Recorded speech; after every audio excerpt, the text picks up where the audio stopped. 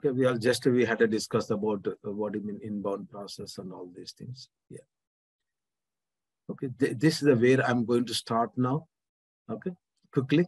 Uh, uh, as I said, like you know, typical uh, warehouse process. You know, it starts with inbound processing, and uh, again storage and operations, and another one outbound process. What do you mean by inbound process? Where it starts with inbound process okay? How many inbound process we have in a, a typical uh, warehouse um, operations? So as you know that inbound process it starts from for example if you have a warehouse but you need some raw material you need some finished goods or you may you may need in semi finished goods. Okay? Then where it starts it starts with you plan the purchasing right? So if you want something you plan for purchasing. Then there is a purchasing department so that purchasing department will place an order that's called purchase order to get some products either finished or semi, um, semi-finished or uh, any other things. Okay? And it starts from the uh, purchase order. Against the purchase order, there is an inbound delivery.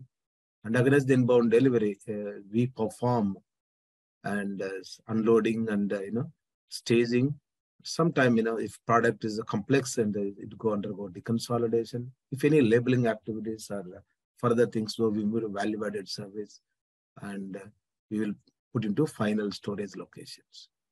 Okay? Uh, typically is like you know a vendor process. You can say a, a inbound starts with the vendor so vendor process. Don't forget to subscribe our channel and click on bell icon to update yourself with latest sap videos okay? There are occasions you know it, it starts you may receive from uh, one you have a company but where you have a two plants you know. So you can transfer between the two plants. That is called the stock transfer order. That means within the company one plant to another plant. So one plant requests some some raw material finished goods semi finished goods and other plants will send it. Okay? So through the stock transfer order you are going to receive the goods that is also part of inbound process. Apart from these two, you have other things like, you know, there are occasions where, okay, you, from your warehouse, you delivered product to the customer. Okay. During that time, and you, some means like, you know, there is a, some damage, something like, you know, and maybe customer may not like, he, he can send it back to us. Okay. So that is called a customer returns. Okay, customer returns is also part of inbound process. Okay, so but also uh, like you know in the inbound process, what are the activities you you perform? When you perform inbound process in EWM, we when you receive the inbound request, we can call it inbound request. You connect this inbound request to the transportation unit. I will explain what even transport unit next level. Okay transport unit means is a, is a trial, is a vehicle. You know, you uh, in a system wise, you connect a transport unit and uh, by attaching our warehouse request. In a warehouse request means what? It is contains the handling units, all these things. Okay. And uh, how you are going to goods receipt, how you are going to manage it, all optimization. So all these things we discuss in inbound processing. And also inbound process, you cover even quality management. What do you mean quality management? So sometime, you know, uh, as a quality, when you receive the products, see, there are like some occasions you may randomly you, you check the some samples saying, okay, all the products are in good quality. And there are, as I said, customer returns. Customer returns definitely should undergo quality before going to put into final put away or before going to send to the scrap area. Okay, that's the one thing. And, and also in the routing, internal routing, how when you receive the product, how the product should go, um, whether it is a floor, whether it is a racks, whether it is a the, you know mezzanine location, and so on.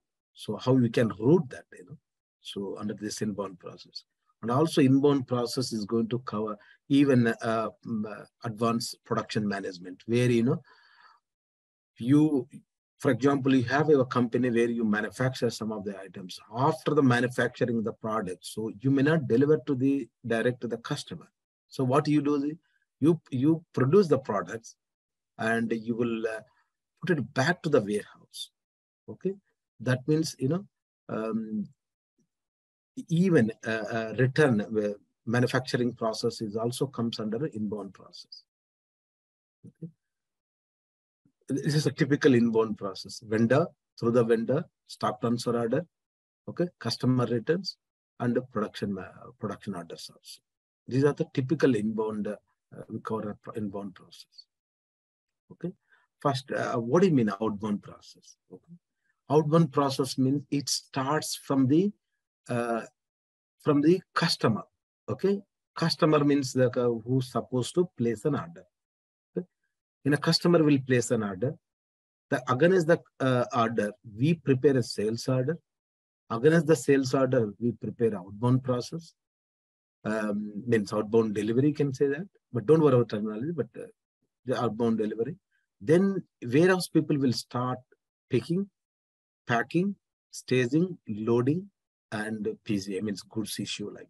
So it starts with that. Okay. But to perform outbound process, it starts, as I said, it starts from the sales. Then there is a sales department required here. How we discuss inbound process, where purchasing is required, purchasing involvement is there. And uh, inbound is also, you know, you they have a material control team is also inbound. Inbound material control team look after all the material, how much material required, per that year, you know, uh, per month or per week, per day. So there is a material control team is also involved even uh, between in, inbound and outbound. They integrate. They see that, you know, how much stock is here in a warehouse, how much stock we need. So they will plan, okay, through the through the purchasing uh, purchase uh, uh, uh requests or some purchase orders. Okay, as I said, outbound it starts from the sales. Okay, so there is you should understand that okay sales, but there is a sales, a sales department is there. They look after all these orders and they, they create outbound deliveries, whether it's a through batch job or manual job. So the warehouse, you know, based on that uh, deliveries, so they will do warehouse activities. Okay. And a typical, what kind of outbound uh, uh, orders we have? in a typical scenario, in any complex scenarios, we, we treat as a standard deliveries like standard deliveries may not be the like you know you quickly deliver. And the standard deliveries we categorize. We also categorize the rush deliveries. And also we categorize as a stock transfer orders also. Like you know, um, uh, as I said, you are sending from your plant to the your different plant. See, that's what stock transfer order. It comes as inbound, it comes as outbound process and uh, sometimes we we uh, we also say within a standard we have a several customer orders the uh, we can always uh, again categorize within standard orders. Like you know whether it is a, mm, uh, domestic orders whether it is export orders like that. Same another one rush orders. Rush orders means you get order but you will deliver within a day or next day or so on. Okay? There also you cannot categorize the again whether it is a domestic order within the country or export or outside the country and also here also you see, and there are occasions, you know, uh, you receive the goods from the warehouse, okay, from uh, through the purchase order. But due to some damage happened when you receive after checking the quality. So you have to return back to the again supplier. So vendor return process. Okay, here vendor return process is also part of outbound process. Okay, vendor return process. Okay, and also sometimes kits is also part of that, and the kitting, okay, is also uh, uh, is outbound process, and also material, uh, as I said, um, even uh, what you can production orders is also part of outbound process. As we said, if you have a manufacturing industry, manufacturing company where you are trying to produce a product, but you need to uh, raw material requirement, right? Or semi-finished goods require.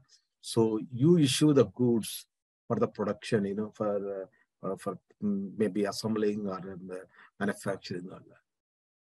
Okay, even the production orders also come into outbound process. Inbound it comes and outbound comes because after uh, assembly or manufacturing, again you will put it back to the inbound, right? That's it. Okay, and we will discuss what do you mean of outbound planning. You know the typical in a real scenario, any warehouse, you, you know, you may not receive one or two orders. You may receive hundreds of orders. If it's a some uh, uh, how you perform, how you capture is the performance warehouse. It depends on number of lines you you pick it, you release it, all the things in a warehouse terminology. Okay. Uh, depends on that, you know, how many orders you received and how you plan it, you know. Are you going to combine some of the orders into uh, uh, uh combined into one one waves or like, you know, how you are going to manage it. Okay. So imagine if some customer placed the three, four orders, or we go because we are going to deliver same same location. That's called ship to party or sold to party. Okay. And also uh, some of the orders we received at the same location is uh, like you know going to the uh, same country. Okay, how we can plan the route. Okay, so how we can optimize like you know such a way that you know you can minimize the picking you know movements or optimize improve the warehouse efficiency. So all these things we will uh, will plan and will do in outbound process. Okay. All picking, optimization, packing, and staging. Okay. said, and also load management, how you load it all. Okay. And uh, analytics report at the end of the, uh, sorry, I missed in the uh, storage operations. Yeah. And once, you know, that inbound, outbound, you know, little bit knowledge on that. And uh, as, as always, you know, you need to look after in the stock how much stock is there in the way, physical stock lying in the warehouse. Okay. And how to check the uh, system stock, whether system stock and the physical stock is always matching. How we need to adjust the stock, whether we need to create a physical inventory document such a way that you physically count it and adjust the stock. Okay. Always system stock should be the same. Okay. System and physical. But in a, in a big warehouse, imagine is, is it possible for us to check every bin? Not possible, right? So sometime you know we do annually, sometime we do six months, we do the um, uh, ad hoc basis. Okay, depends on that. Okay, physical inventory is a big activity in the warehouse. Okay, how inbound, how important outbound. Similarly, is the physical inventory is one of the major major uh, operations in the warehouse. Okay. I can say minimum 10, 15 people work in a medium-sized warehouse in a only physical inventory. Okay, they, they, they see that, you know, the stock always adjusting stock and checking the stock. Okay, another replenishment and rearrangement. You know? As you know that you receive the goods and you, you fulfill the customer orders. Okay, as you said, you may not keep all the products in a, in accessible locations.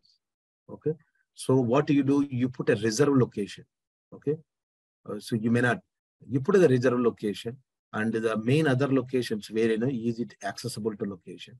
When stock level falls certain level we maintain certain levels for every bin locations you know minimum maximum and all. As soon as uh, it falls certain minimum minimum level then system creates a warehouse task replenishment task say that okay is not enough stock and you know you you fill the from reserve location to the uh, uh main uh, uh, storage locations where we picking, uh, where we like, you know, the, do the picking activities.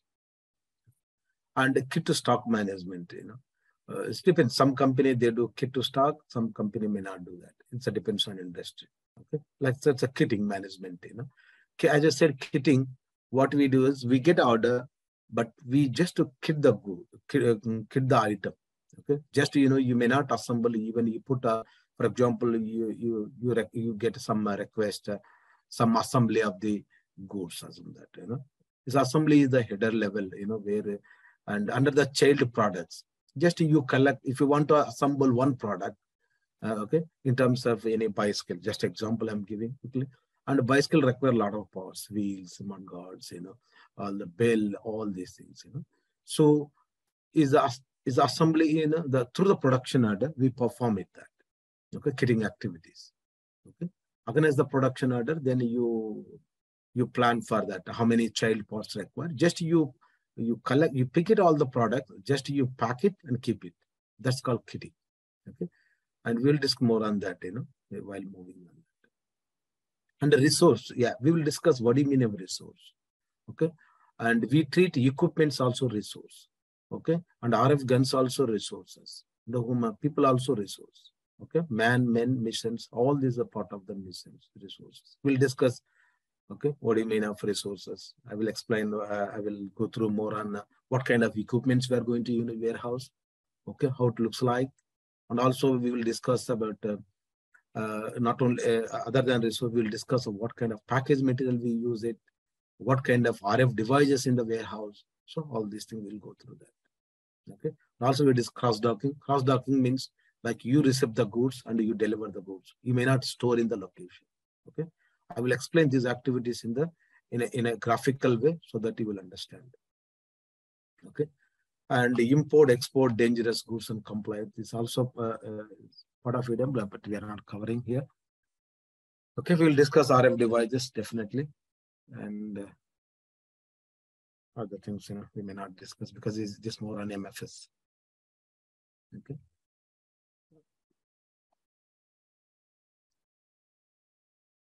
Okay, just a minute.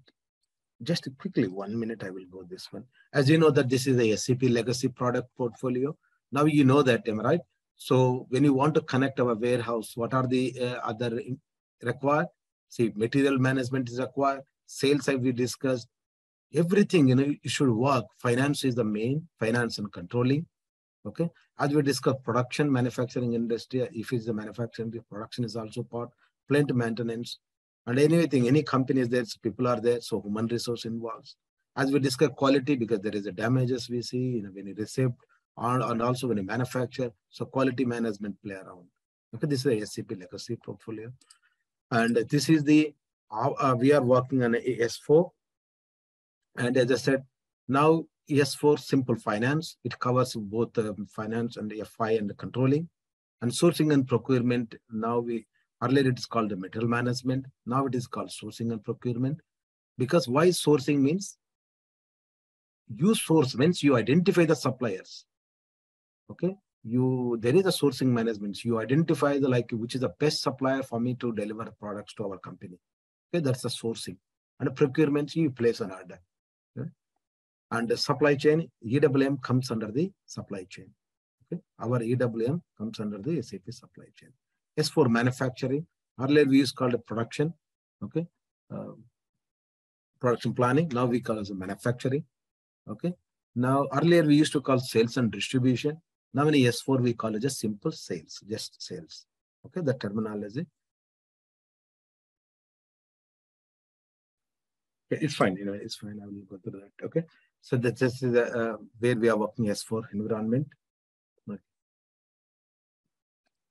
This deployment, am I right? So how you are going to uh, uh connect whether uh, uh, just I will give brief in this one, but next class we'll discuss more on like you know how what kind of landscape we are going to use in a, a real-time world. Okay, how they adopt, which one is the best, whether it is embedded system, whether embedded landscape, whether it is a decentralized landscape. Okay, how we can connect our EWM system if it is embedded how we can connect with the decentralized system, okay? What are the requisites, okay? Uh, what are the advantages or disadvantages? All we, we will go through more on that, okay?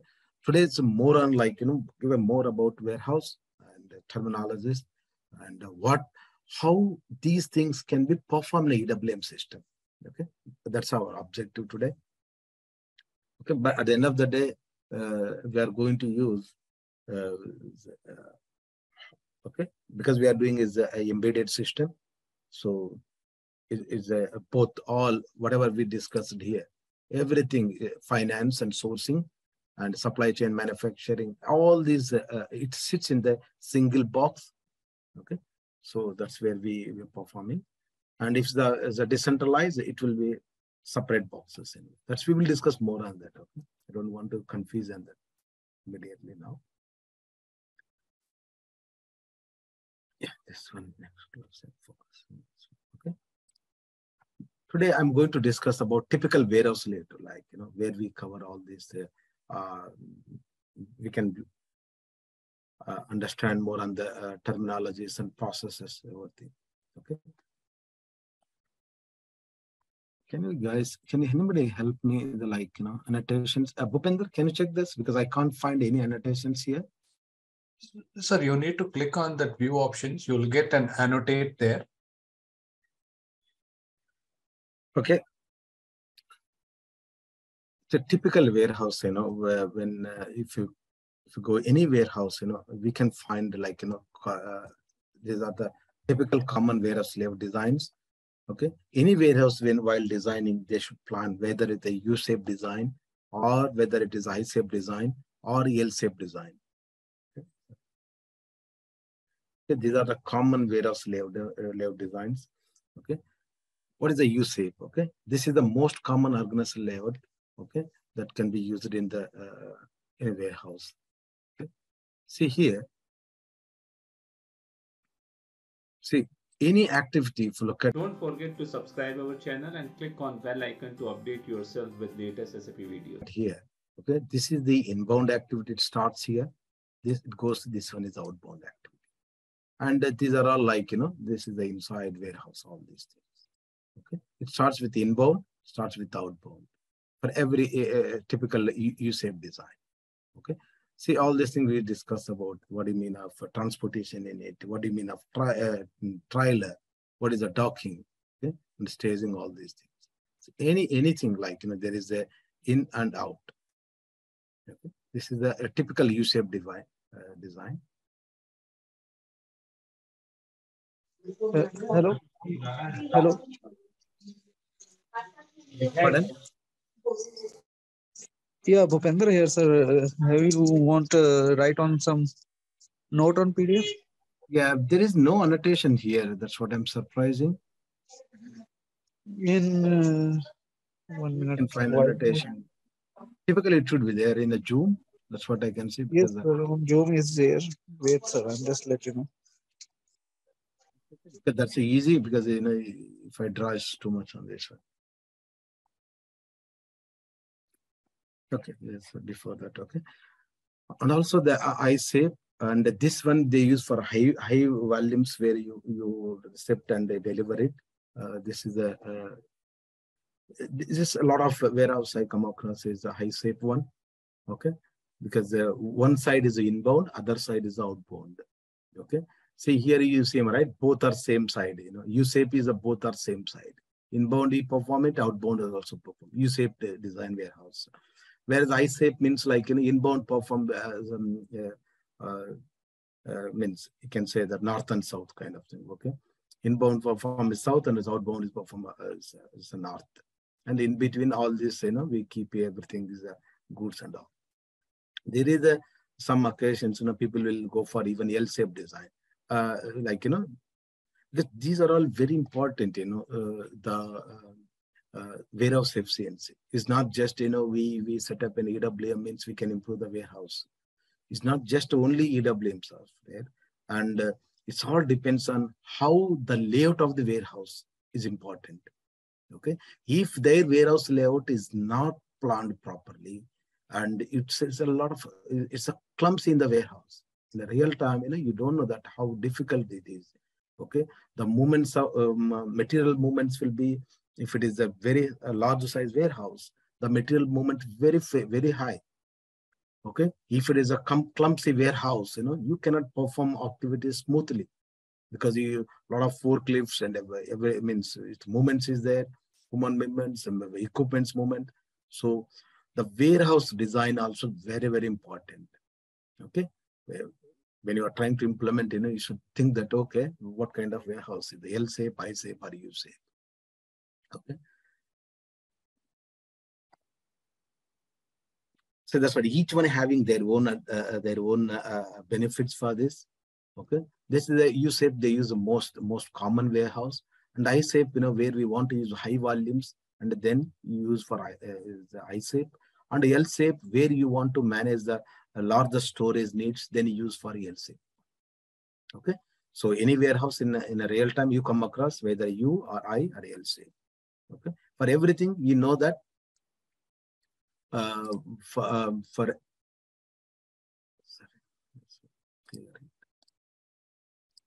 for everything, as I said, like, you know, you have a, so I'm not that familiar with this. Where is it? Uh, Mr. Naidu. Yeah. Hello.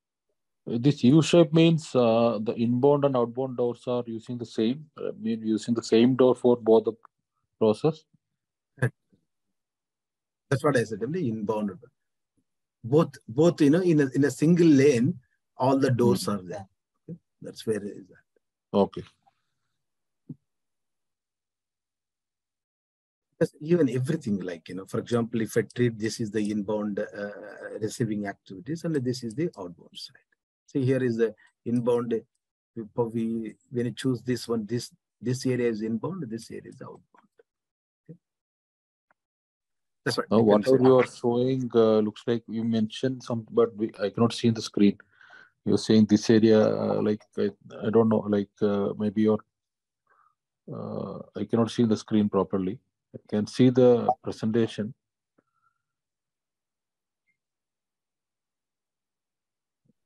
Yeah, we just see the slide, but uh, by any chance, if you're marking or showing something that's not uh, visible to us. Yes. That's it. Okay. Now you see this one? Yes. Okay. We can see cursor, but not uh, seeing anything drawing, drawing or something. That's what I told him, like I need annotations. Somewhere it should be there. That's what. So can you go to the presentation mode and right click, you will get pointer options. You can use the pen. Features, these uh, Put a four items filtered. Yeah, right click. Right click on the slide. Also popular. Uh, you find pointer options, Yeah. Okay. a pen, and the ink, like whichever you want. Tourist, Now you- uh, tourist visit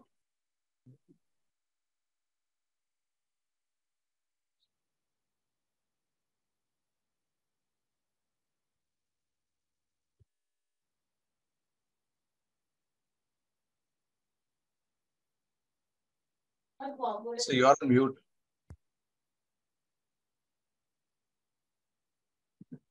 Sorry. Yeah, this is the uh, uh, inbound and outbound, and the same thing. This is inbound, outbound. Similarly, you can treat this is the inbound, and this one is the outbound. Okay, that's where we see. Next one, I will slide another one. Why I asked this question, in if we go back to the slide, previous slide.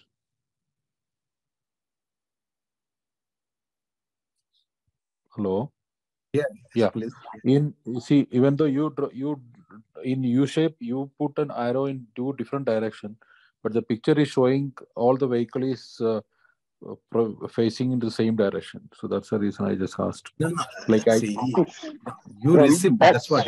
This is the inbound. This is outbound. That's what you see. You receive here. That's what. And the, From the back side, Yeah, that's it. From the backside, inbound is happening, and outbound again from the backside, it's loading in the truck. Yes, yes, yes. Mm. Okay.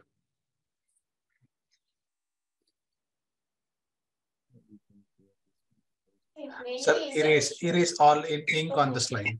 Companies are still. Erase all ink on the slide. This is the where I will uh, more I will discuss on this one. So I will cover all these uh, uh, scenarios for you guys. Okay.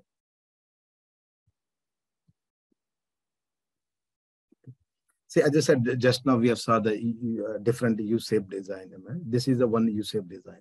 See, everything is in line with one. Okay.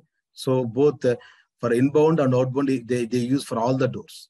They use every doors. Okay. They use both inbound and outbound also. This is the U-shaped design. Okay if you go uh, see this one? Uh, this is also u-shape design more or less. And uh, see this is also u-shape design. Okay both are in the same line. Okay? And uh, th- this is like you know uh, is a looks like is uh, not i say is a l-shape design. Okay? So this is the inbound and this is the outbound. The you receive and you deliver it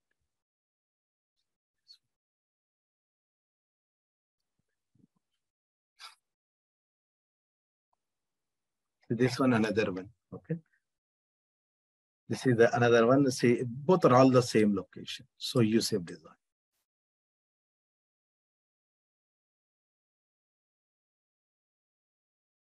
okay this is the inbound this is the outbound So, so uh, sorry to interrupt. Basically, I have a doubt here.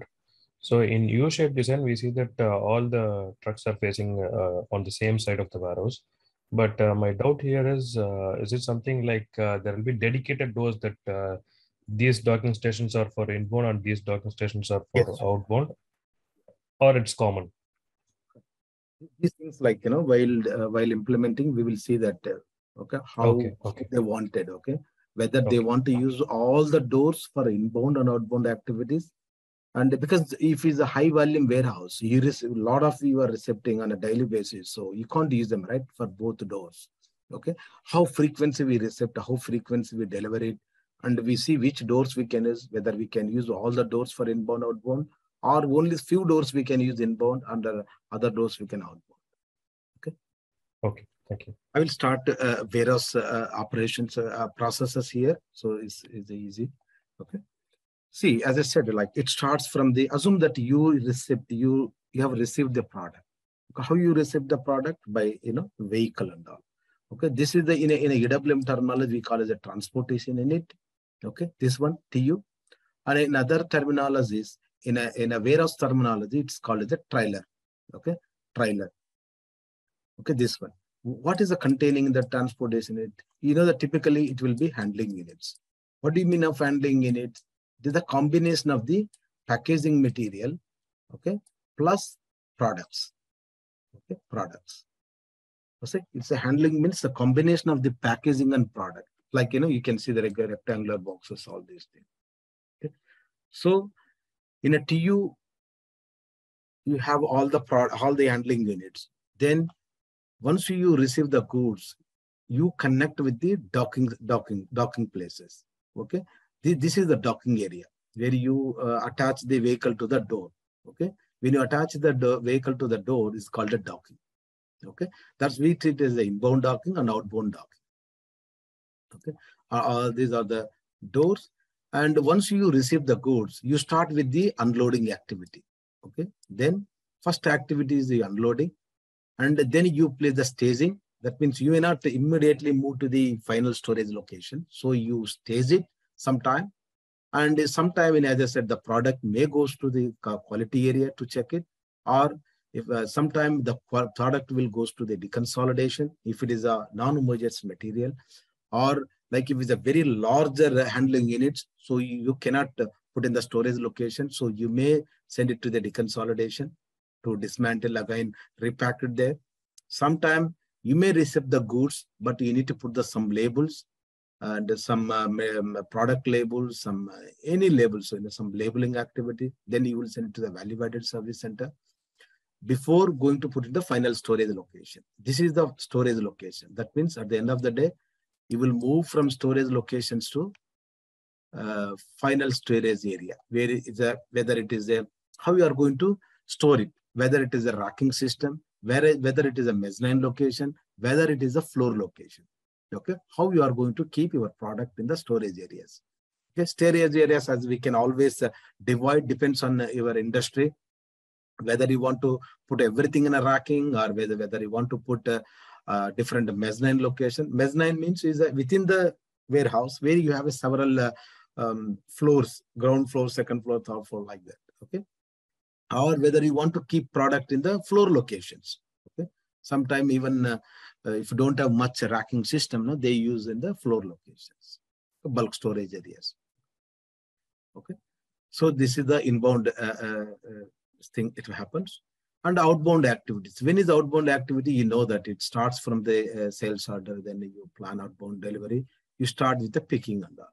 Okay, where it starts picking from the main storage area okay you pick the products and you do you send it to the packing area where you do maybe assume that you pick it a product and do some packing activity here okay certain packing activity then move to the staging area where you keep certain time or sometime you know you pack it you may not deliver the same day you may deliver next day or after one week depends on that. so you may keep in the racking area again then once once is the uh, uh, the carrier is uh, planned you know all the in the tm side if it's the tm integration you know so once the carrier everything is a planned then you floor loading that okay? And then we moved from um, temporary staging area to main sta- sta- outbound staging area. Then you do loading okay? Then the the vehicle will leave to the our add add location. This is the typical flow okay? Inbound outbound. See, all these uh, within this uh, warehouse, you know, uh, anything internal operations. So, for example, any movements, you know, in that matter, Okay. For example, uh, there are some region, you know, we you recepted, but you know, some region, some issue happened. So you cancel all the warehouse tasks. Warehouse task means is a like, you know, movement of the product from one location to other locations is called a warehouse task, warehouse uh, activities, okay, typically. So all, as I said, if uh, internal activities means you do counting, physical checking, uh, physical activity means physical inventory, and also like you know movements of the products within that. There are occasions where you want to some region you know maybe damage happened here okay? So you want to move this product to this location okay? Through ad hoc basis we can move the product from one location to other locations okay? And by product base or by handling base okay? You can move that internally within one one one bin to other bin or once one location to other location okay that's also internal uh, processes Okay, see this what is the shipping area they put again. This is the packing area. This looks like you know they packed and they put into some racking area temporarily because they are not delivering on the immediately. Okay, then once you pack it, you know, temporarily keep here, then you move to the uh, staging area, then you do the loading and all. Now the sequence is picking, packing, uh, loading, or staging, right? staging and then loading. Inbound, what I will start with? No, no outbound, outbound. Outbound, okay. Outbound is the picking, okay. Mm. When you pick it and pack it, okay.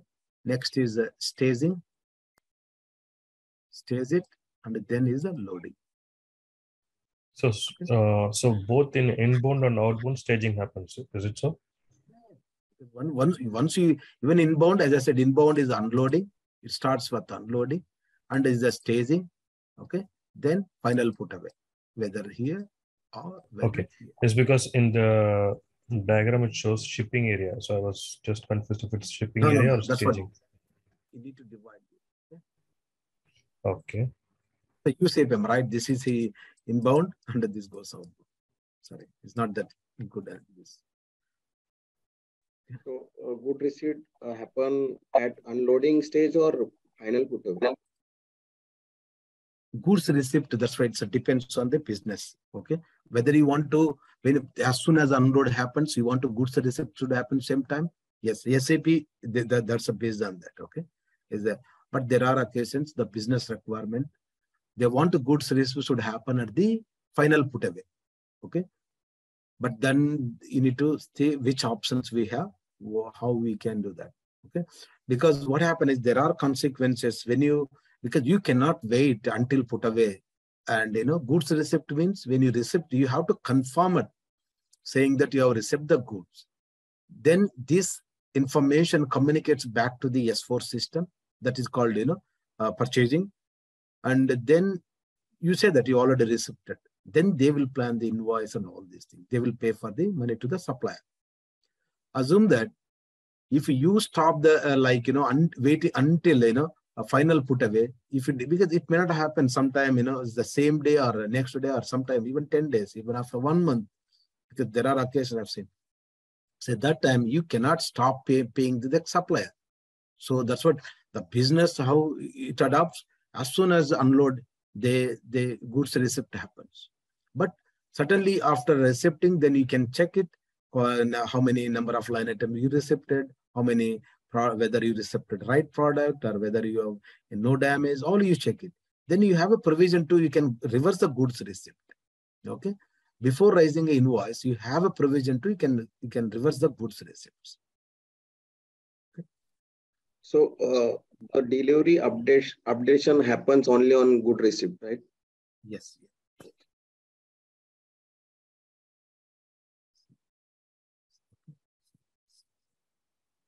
This is another typical warehouse where, you know, uh, we'll discuss more on yard management side, like, you know, um, uh, we see like, you know, this is a checkpoint, okay? We call it a checkpoint. Once a vehicle entering is a gate is a main checkpoint, okay? No matter, so you can see here is inbound and is outbound here. Okay, vehicle, vehicle check-in, so the vehicle enters here and it may not dock directly here, okay? Directly, this is the docking area. Okay, hope you can see my uh, line, red line. So once get the vehicle, see, they may not, what they do that sometimes they drop at the trailers here. As I said, these are all rectangular white boxes is called a trailer, okay, or transportation unit. In a EWM terminal, we call transportation unit. In a warehouse terminal, they call as a trailer, okay. So the vehicle comes here, they may not stay some time, you know, they will drop the trailer, then they leave also, okay. Some occasions, you know, they will uh, come directly, they stay here. This is called the um, yard storage locations okay so they they stay temporarily and when uh, when door is available okay so imagine if it's very uh, small warehouse then they can easily manage they can see that how many uh, vehicles here and all imagine if you if you if it's a very very large warehouse or distribution center if it's hundreds of vehicles arrive so may not possible right through the dock appointment scheduling then you can plan it which vehicle should come dock it and which vehicle should go through the dock appointment scheduling, they will plan everything, vehicle movements and you know uh, the docking also. Okay. So once you uh, the vehicle comes here, then you comes you attach to the uh, the vehicle attached to the docking area. That's called door. Then you perform uh, all unloading and staging and uh, other operations. Same thing uh, when you want to do outbound delivery, then the vehicle comes and dock it outbound area.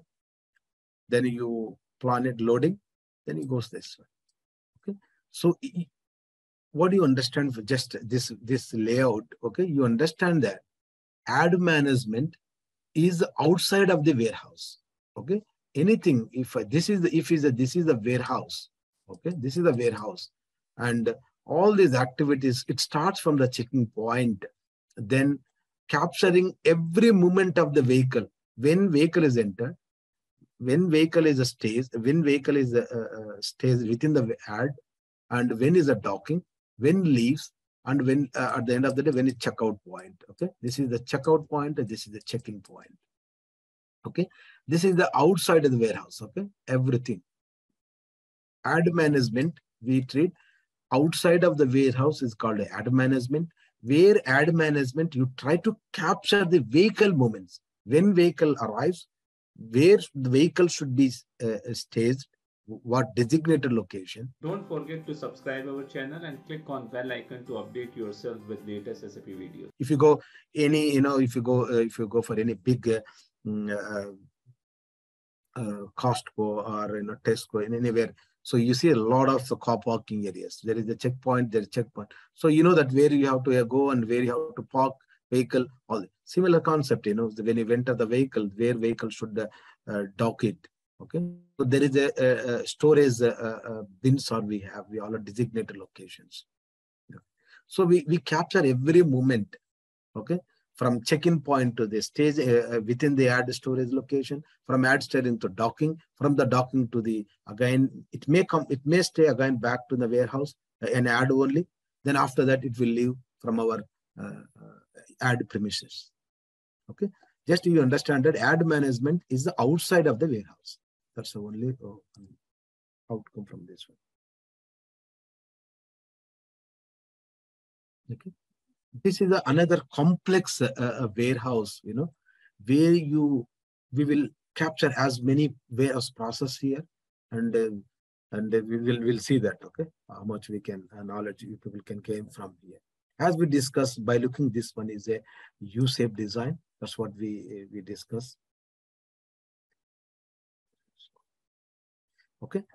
Again, as I said, is both inbound, outbound. What I can do now, I will split into this one. Okay. This is the uh, inbound. Okay. Then the remaining is, I will treat as this, maybe remaining this outbound. Okay. Outbound. Okay. As I said, the inbound starts with the uh, docking first. Okay, when a vehicle arrives, this is the transportation in it. As we said, is a uh, TU contains HUs.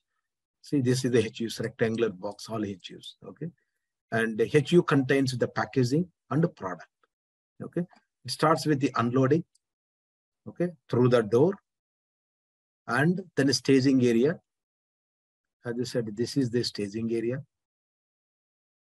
Okay, this is a staging area okay then the vehicle will move i mean uh, once you stay once you receive the goods then you may move to the racking area here or you may move it here, or you may move it into the here, or you may move to the here.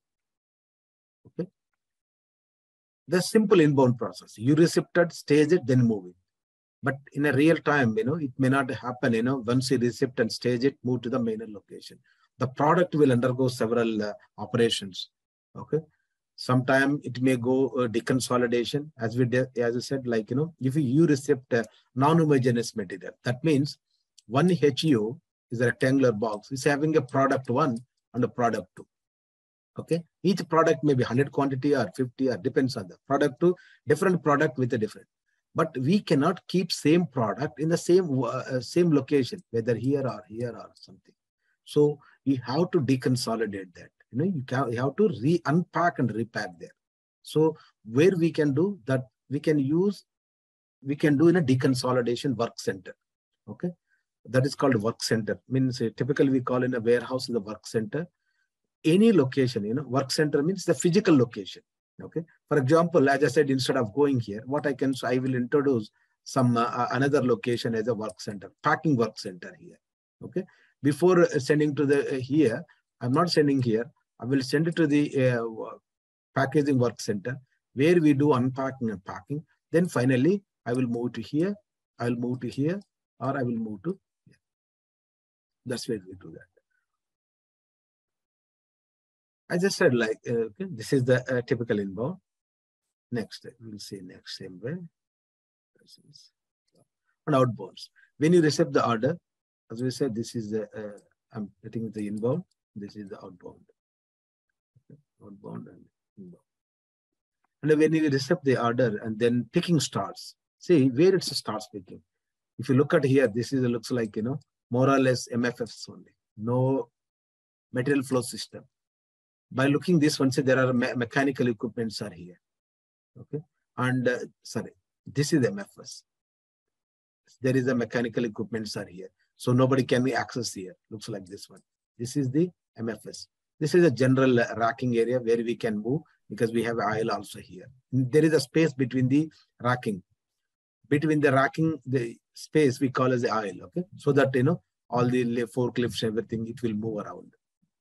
See here also forklift is there, and uh, they are also there. So when you, this uh, when talking about outbound process, you may pick the product uh, from here.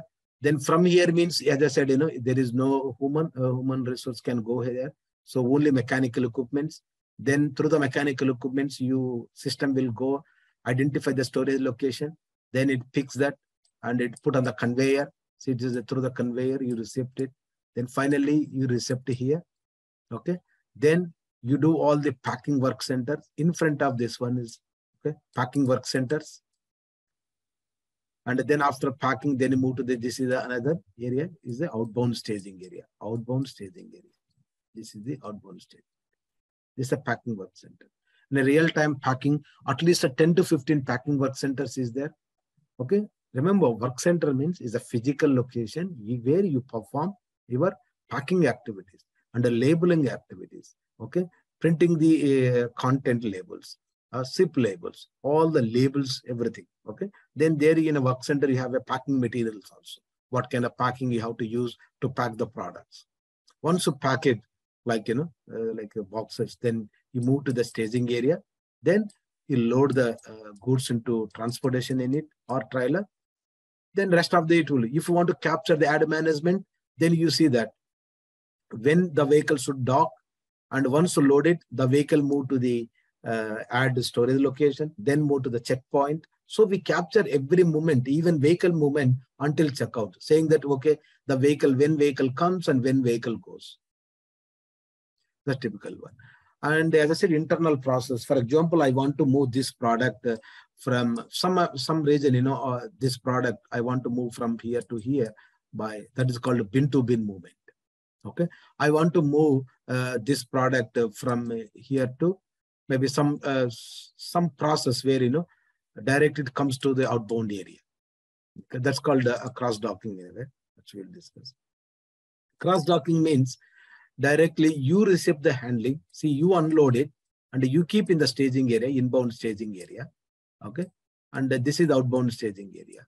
For example, I pick this HU, you recepted, and directly it goes to the outbound staging area and goes to the uh, loading, then you, you will send it. So that means this cross-docking process where you are not going to store your product, you receive the product, directly it drives to the outbound area. Okay, how do you know that uh, uh, the products are going okay in a different different? How system knows that you know which product should go to which locations?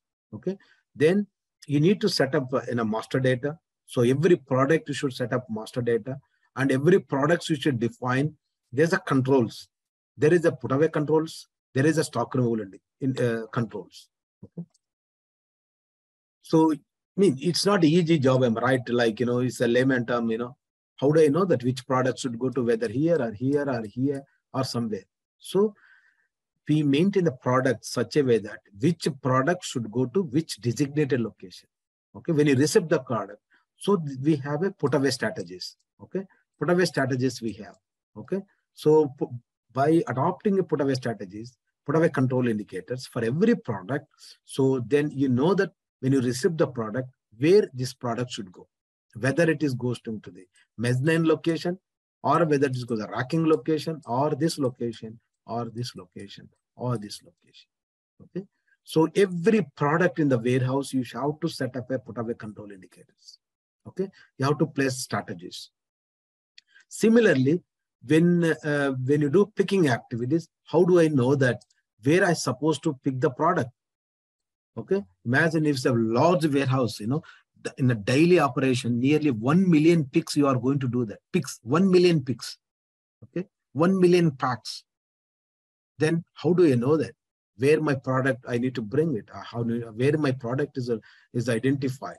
How do I know that? So all these things, you know, you need to manage with a, a stock removal strategies. Okay. Stock removal strategies. Through the stock removal strategies, I place for every product stock removal strategies such a way that when I receive, I know system will uh, advise me like, you know, this product is uh, lying in a mezzanine, whether it is a main rack or some other locations. Okay. So, but how, how, which product should get it?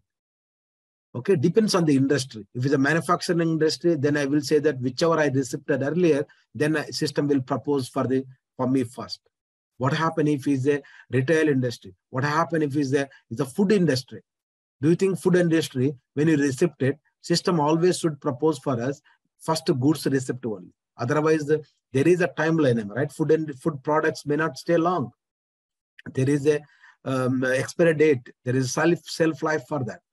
So, how my system will propose, you know, based on self life expiration date, like so. There are something how you whether you wanted to propose a, a self life date or something like expiration date, so that you know we have a 10 days timeline. Then um, you received a first product, the system should always propose first product, should not propose uh, other product because otherwise it will damage further. So there are certain strategies will be placed.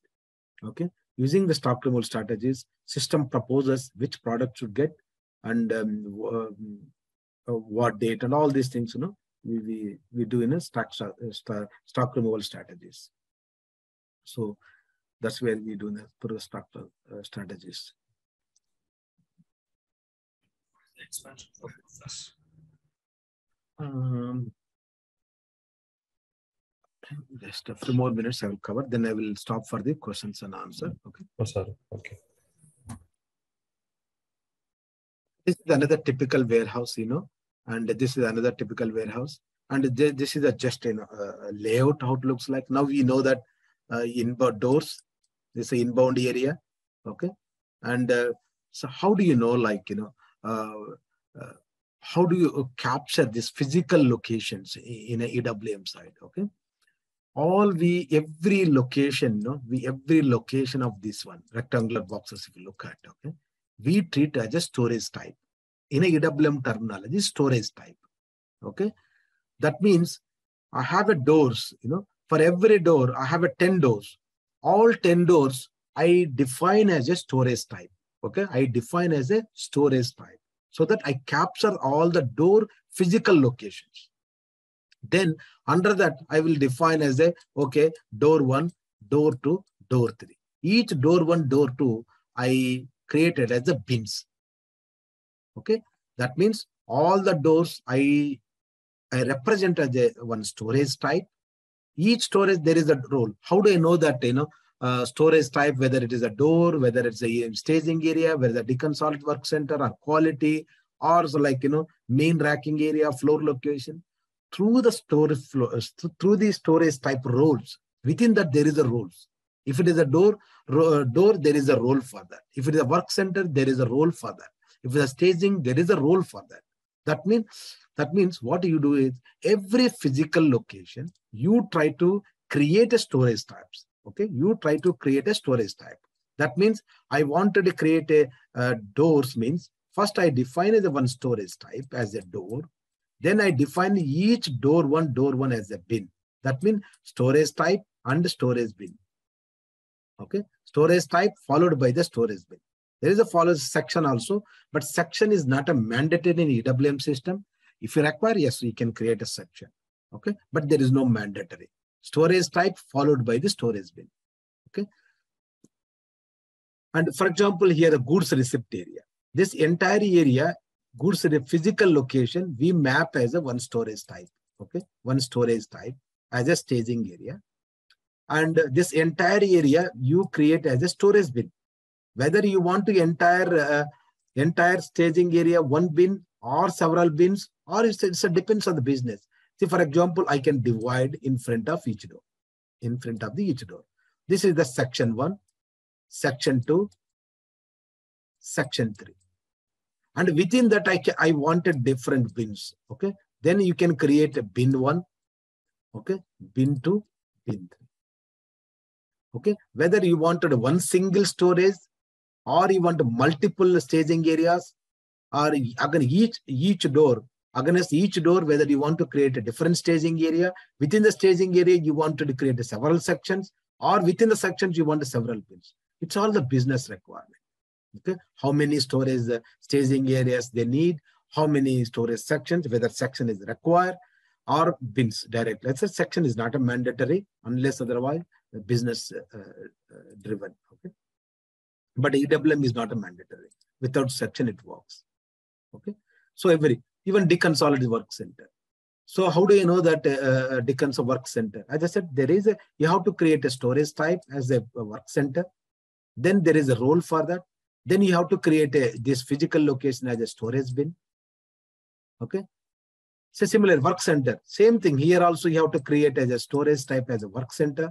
Then you create as a quality center as a bin and similarly, here is a VAS also work center. That means you have to define as a storage type as a VAS work center, and again bin as a work center, and VAS work center, and a floor. So every physical location you define or you represent as a storage type, and each storage type have a certain roles because based on that you can distinguish whether it is a staging, whether inbound, quality, or work center, or packaging work center, or goods issue center, staging area, or main storage areas, whether racking area or mezzanine locations.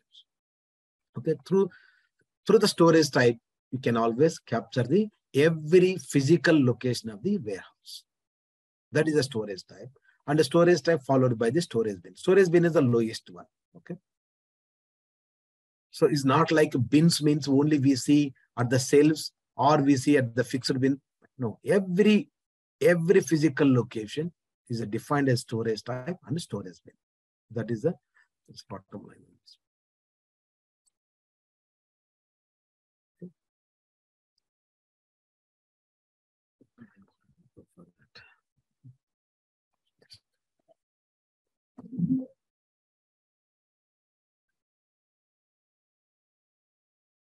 And next one.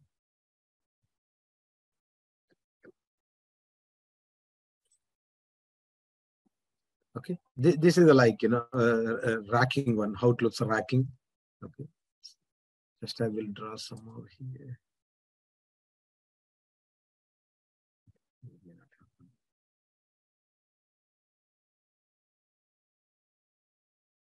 Just i'll try to use this one okay, no problem. See this is a like you know just I, I draw this one. You can see this one my line when i draw this one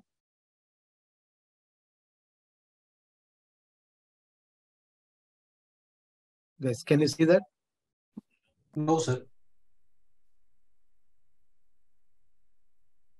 Okay, it's fine. Anyway, if the annotation is very easy, I don't know, some reason is. I don't get it. It's all right. I think you need to expand the slide. More presentation. Only will get Uh, appendix. Naidu, how long uh, each day session will continue? Yeah, What's the is, uh, duration? today the first session, I'm right? Maybe, yeah, we may do, we may complete very soon today. But yeah, certainly for next classes, so one and a half or to two hours, minimum two hours. Yeah. Two hours. Okay. Okay. Finish it anyway. Uh, later we'll discuss. Okay. This is like a typical racking, how it looks like. So if you look at that, you know, rectangular box where we keep uh, uh, within that, we, we can say three handling units, all these things. Okay. Uh, just I will move it into the next level. And just I want to show some of the pictures so that you know that how it looks like the, the warehouses.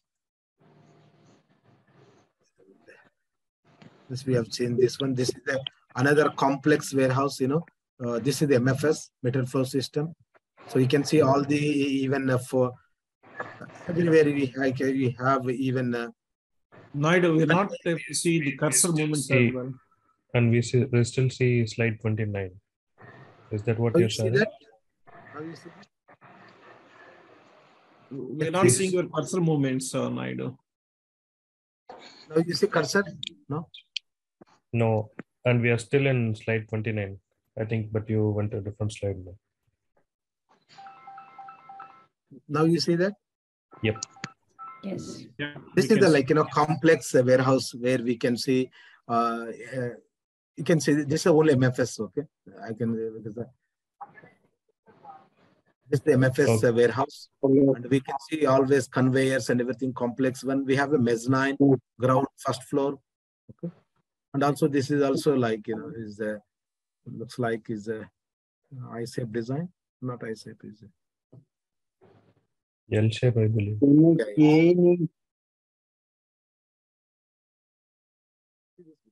picture is not very clarity, not that good clarity.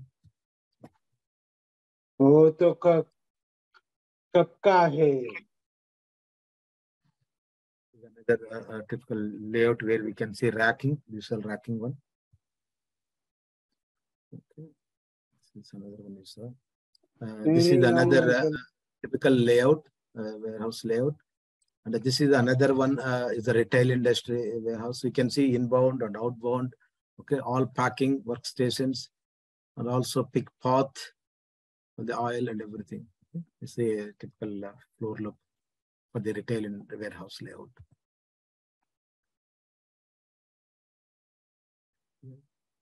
And I will go to the uh, next one is equipments. What kind of equipments we use in the warehouse? Okay, warehouse equipments.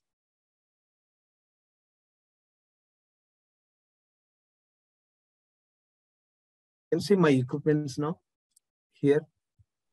Yes, yes. Yes. So as you know that warehouse, you know, what kind of equipments they use it.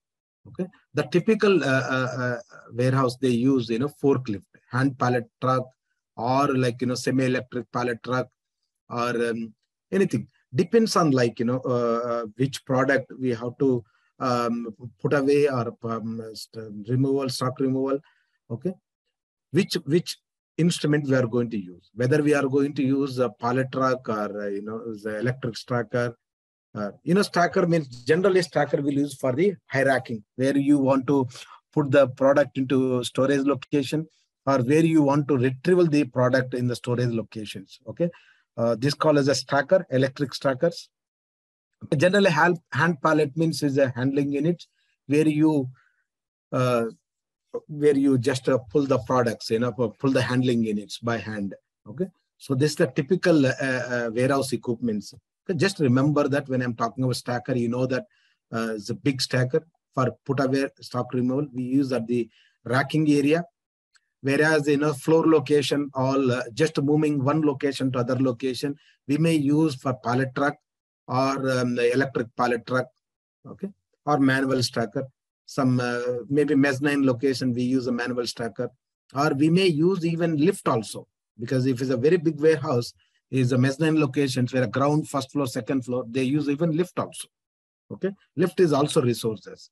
See, all these equipments is mapped as a resources. Okay, just remember is a pallet truck, manual handle, a hand, and also electrical stackers. These are the typical equipment they use in that. And uh, this is the, uh, another, uh, uh, this it comes as a part of um, packaging. When you are trying to pick the products, right? So you should have a, some kind of pick here use. Okay. you know, for example, when you go for any anywhere in for buying something or like you know some uh, vegetables or don't forget to subscribe our channel and click on bell icon to update yourself with latest SAP videos. some of thing uh, groceries or first you do some uh, equipments you carry some uh, trailer or something right? So you pick the product and all. But in a real-time warehouse similar way you when you get the order you know you you may not just go simply like that. You take some uh, uh, tote or you may take some box or you may take some trailer where you pick the products from the bins to um, uh, putting into the box first. You may not directly take to the packing area. First, you pick all the products at the different locations, you consolidate in everything, and you move to the packing work center. Okay. Uh, this also is a part of comes as a packing material only. I will, it comes in. This is another typical uh, equipments. Okay, electrical and the table, all these things. Just you can have a look this one.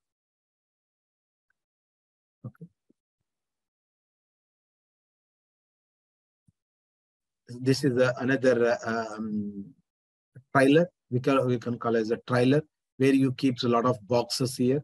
So when a picker, you know, then typically take any trailer and he carries a lot of um, boxes, whether you can call as a totes. So he, he takes this one. You roam around, you know, um, storage locations where you pick the products from the bins. This is the trailer, or you can call it the totes or boxes.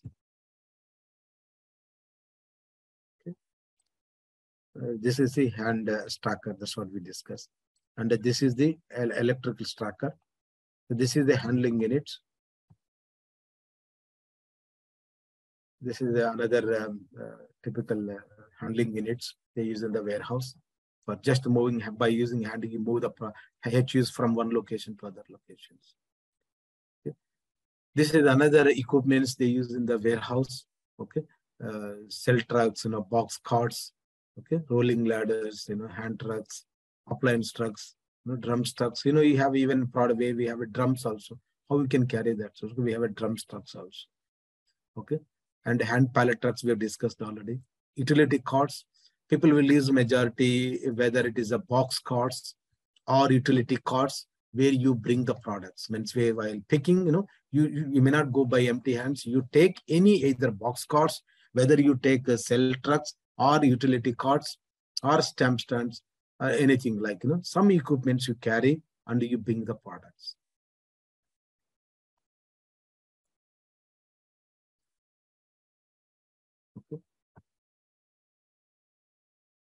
this picture is may not good clarity. You can see the uh, stacker is uh, carrying the uh, handling units.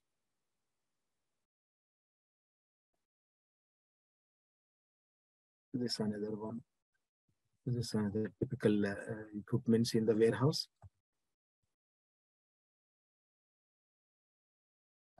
So this is another one. Uh, um, a picker is the carrying trailer, and he, he keeps in the boxes because you know the boxes we treat as a totes. So you will pick and you will drop it. See, remember in a real time, when you pick the product from the bin, bin's also having some barcode. He will scan it, then you will drop here, and also we will attach barcode for entire trailer, or we may, we may put the barcode labels for the each boxes, so that when you pick the product in the bin, then you should understand that where my product after picking how I can capture the product. So every moment will be captured, even while transit also, while moving, while moving the product, we capture that, you know, by if you scan the product, then you know that where is my product, whether my product is carrying the trailer, whether my product in the parking area, my product is in the uh, bins or any locations. It's a typical level. These are the equipments.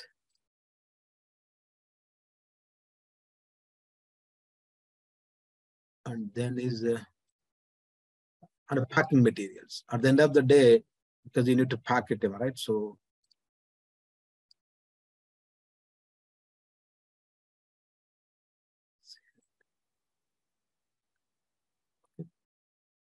This is the handling units and where we the racks. You can see every bin. You can see you can accommodate minimum is the uh, three HUs. Every location. This is the standard warehouses. Any complex warehouse. Okay. Typically, the design this uh, racking will be designed such a way that you can accommodate three HUs. Okay, three handling units. Okay.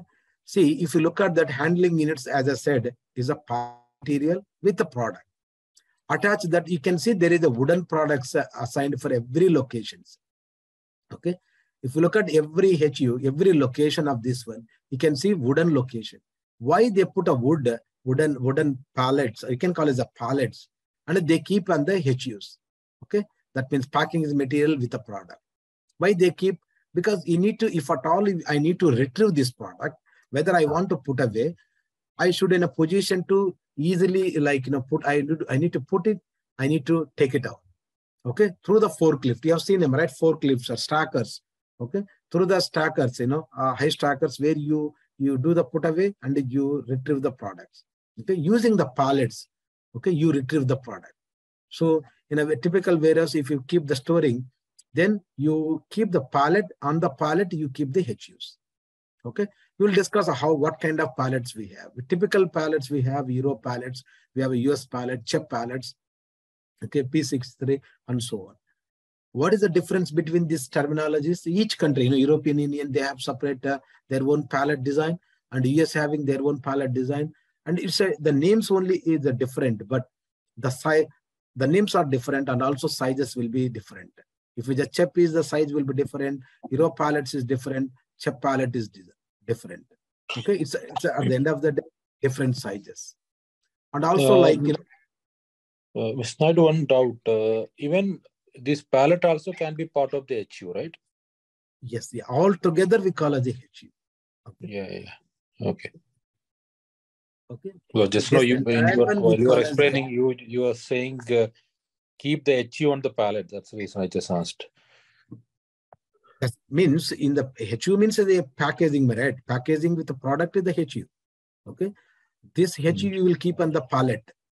Okay. All together we can call as a HU. Okay. But you won't keep as a just a pallet uh, uh, without a packaging material and product. You can't call as a HU. This is a return packaging. We can generally be treated as a return packaging, the pallets, right? Both, you know, for put away time you use it and for uh, uh, stock removal. Both. Okay. Correct. Even when we can directly load with the pallet into the uh, reefer or the trailer as well, right? Yes, same time. Yeah, all the time. If you look at every HU here, Mhm. having the pallet here, wood wooden pallet. Okay, I will I will show that what kind of pallets we have next. Okay.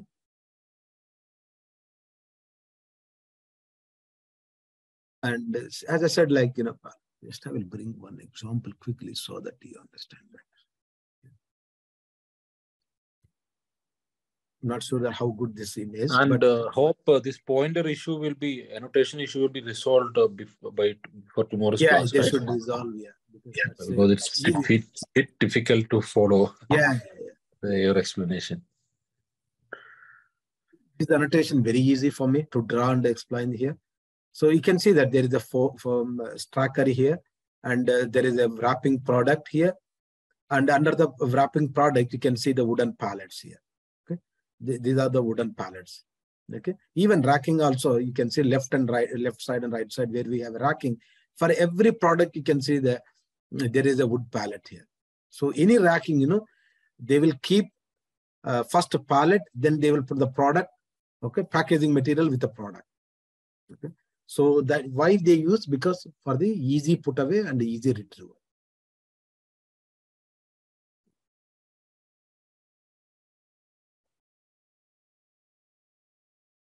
okay what kind of pallet types we have in a real time world okay so pallet types means like you know how your product will be handled using the sta- stackers whether stacker can do two ways, whether a four ways. Okay. Sorry guys, you know, I'm not doing annotations not there, so I'm struggling a little bit. Okay. Just I will see whether if I use epic one, epic one, you are not, you can't see them, right? When I draw something. Sir, can you, sir, on the on the pen itself, like you can adjust the width of the pointer just below, below.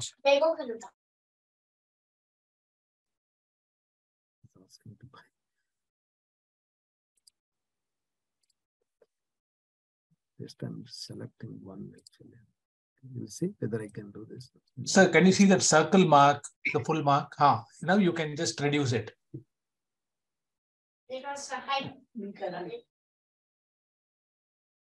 You can just draw it on the picture, sir. No, no. No, no, no. You, you just select a, Sorry, yes, I can't. you just select, no, no, no, no. Just come out. Ah, just select the line, line option, line. Ah, then draw it on the picture. It's not there yet. She's not taking this one. Sir, you are in uh, erase actually. No, select line, the next, uh, just below the text, just select the line, sir. Just select it. Ah, uh, just come, you need to select it and uh, yeah, you have to draw. Your pointer will change to circle, the tiny circle one. I think uh, Not line coming. is not available. It's saying buy now. If he clicks on that line, Yeah, it is saying yeah. buy now. It's okay anyway. We will cover even next session, you know. That by that time they will fix anyway on the questions. Okay. Yeah, this the pallet types means like you know how your product will be carried, okay, whether two ways or one way or something like that. And if you look at here, uh, you can see Euro pallet. The, it's a it's a typical pallets in the in the real time world where you use it. Okay, whether two just you need to understand whether two way entry or four way entry. Okay, is a two way entry means only you have to do all the time uh, one way only. You cannot do that. I mean, like in a forklift guy, he assume that sometime if you put in a, a rack, a rack location, you know, uh, if you put a wrong location, he cannot put and he cannot retrieve also. Sorry, he cannot retrieve. Sorry, he may put. But uh, with a four way, it helps for him. Like you know, any direction we can do that. In even within a warehouse, it's easy for him to like you know move the product quickly uh, if it is a four-way uh, pallets. Okay, that four-way means the forklift can enter in a both uh, forklift guy can put into the. Um, uh, there is a projection am right? For any forklift, they have a uh, three, four mm, projections they have. So you can use that projections. You know, we can lift the uh, HUs from one location to other locations. Okay, typically, you know, four-way is the best option. So it can, you can any, you can come any direction. You can pick the product it's disconnected suddenly. Okay. And these things like, you know, um, in, a, in, a, in a typical warehouse, you know, they have all the equipments and they store it. So, you know, always when whenever we get a, when packing, then you need to attach with the wooden pallets and you will deliver it. Okay. These things, you know, you need to maintain as a master data. Okay. You have to create like several uh, pallets in a CHEP pallet, Euro pallets and also you need to define like you know which pallet uh, should go to the respective bins. Okay you can't just like you know send my CHEP pallet into one bin unless that bin is allowed as a CHEP pallets unless that bin is allowed us pallets unless that bin is allowed euro pallets. So and rp63 and so on. Okay so you define that what bin uh, bin storage types okay whether that bin is allowed CHEP pallets whether euro pallets allowed okay? You can't accommodate a um, euro pallets into CHEP pallet location because the same dimensions are different. If it is smaller dimension certainly you can allow okay? If it's a bigger dimension you may not allow. So so you understand that a pallets means looks like okay? Under the pallet you will keep our um, packaging materials okay? That's called handling units. And this is a typical just if you look at this in a bigger view okay? This is a four way so, you know, where- the stacker can pick this product in either direction, all the directions. Uh, this is the typical uh, uh, pallets, you know, they will keep it as a, uh, as a storage, okay?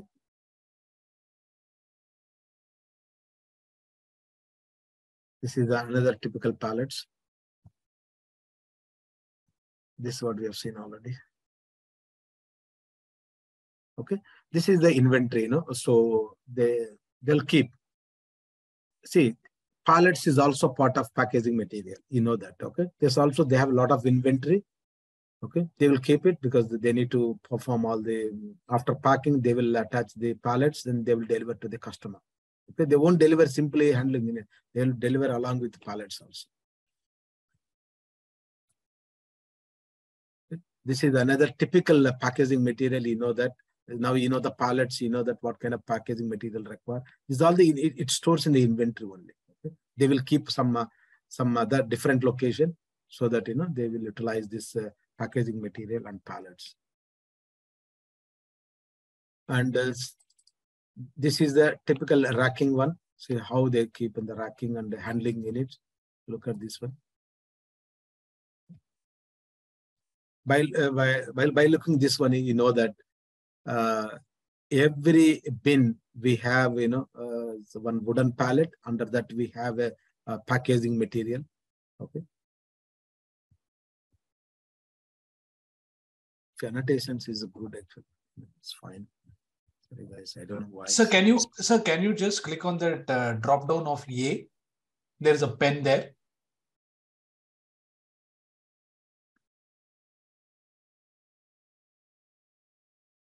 Annotations, you know, is uh, because I'm sure that you know because stop sharing is there, but nothing is there. Another view is there. So no, sir. There is a, just below that in that A, there is a down arrow. There's a drop down. You'll have to select a pen and then you can write. You say here it. No, no, no, no, no, no. Yeah, in on the Epic pen itself.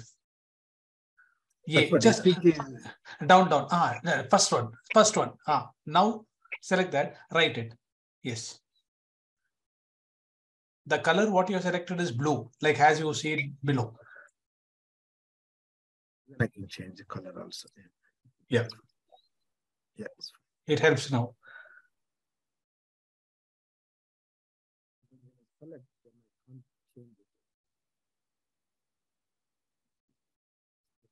Because I don't have much uh, experience on this using this Epic one. It's okay. And we will another equipments we use in the uh, other one is RF devices. Okay. You know, this is a barcode reader. We use a barcode reader because, you know, in a real time in a warehouse, you know, people may not uh, uh, look at, you know, you have to scan it, the barcode. You have to just scan the HUs so that, you know, uh, it reads, it's a readable format. Uh, this is the typical barcodes for reading the HUs. Okay. And uh, we use an uh, majority is the RF devices, radio frequency devices. We use all in a warehouse.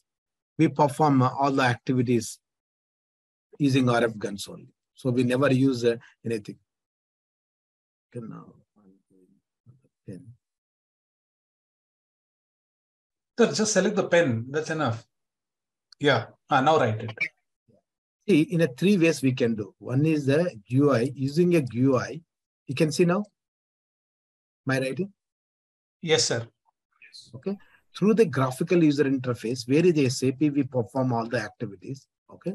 Like, you know, you can create a warehouse task, you can release the warehouse task, you know, all, you can move all the uh, warehouse task, you know, using GUI. We can also do all the warehouse activities using, okay, Fiori applications. You know the Fiori is another uh, most popular applications, Fiori. And this is definitely typically used for all the business users. Business user means the warehouse operators or clerks or um, supervisors and so on. They use all the Fiori application. They may not use a graphical user interface. Okay. And the third one is the uh, radio frequency devices, RF devices.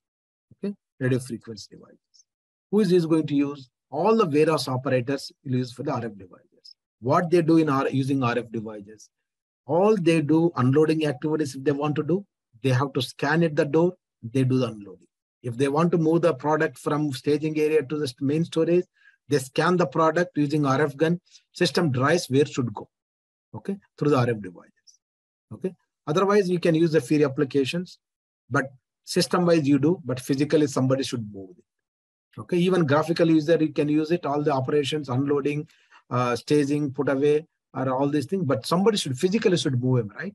So in a real time, we may not use much uh, GUI, uh, but only implement only uh, consultant will use much on GUI. And the Fiori applications, most of the time we use warehouse supervisors. And because the warehouse supervisor wanted to see that how many warehouse tasks that they performed on the day, how much goods received they have done it, how much uh, packing they have done it, how much PGI they have done, means post goods issue they have done it, how much stock is there. So all these, you know, monitor using a monitor. Okay, we have a, a powerful monitor is the SAP monitor in the EWM system monitor, where we can see all these uh, uh, in a single uh, uh, uh, central database where we can we can capture all the inbound activities okay inbound uh, request and outbound request outbound activities okay using graphical interface or Fiori application we can use it. But you cannot use uh, you cannot check all the stock and everything in the rf device. Only rf device you can perform the warehouse activities okay? Moving the product from one location to other location. We can use rf device we can use even packing activities also okay? Uh, like you know in a work center they do all the packing. Then once packing they can scan the labels and they can print the labels through the rfui okay this is the difference between the graphical user interface and the Fiori applications and rf devices. We will go to graphical user for sap next tomorrow you know. We'll discuss more on sap because i don't want to discuss more sap directly. So without knowing all these things equipments terminology you know if you could directly enter into sap it will bounce back for you. Naidu sir, I think you can check stock uh, via RF gun, right?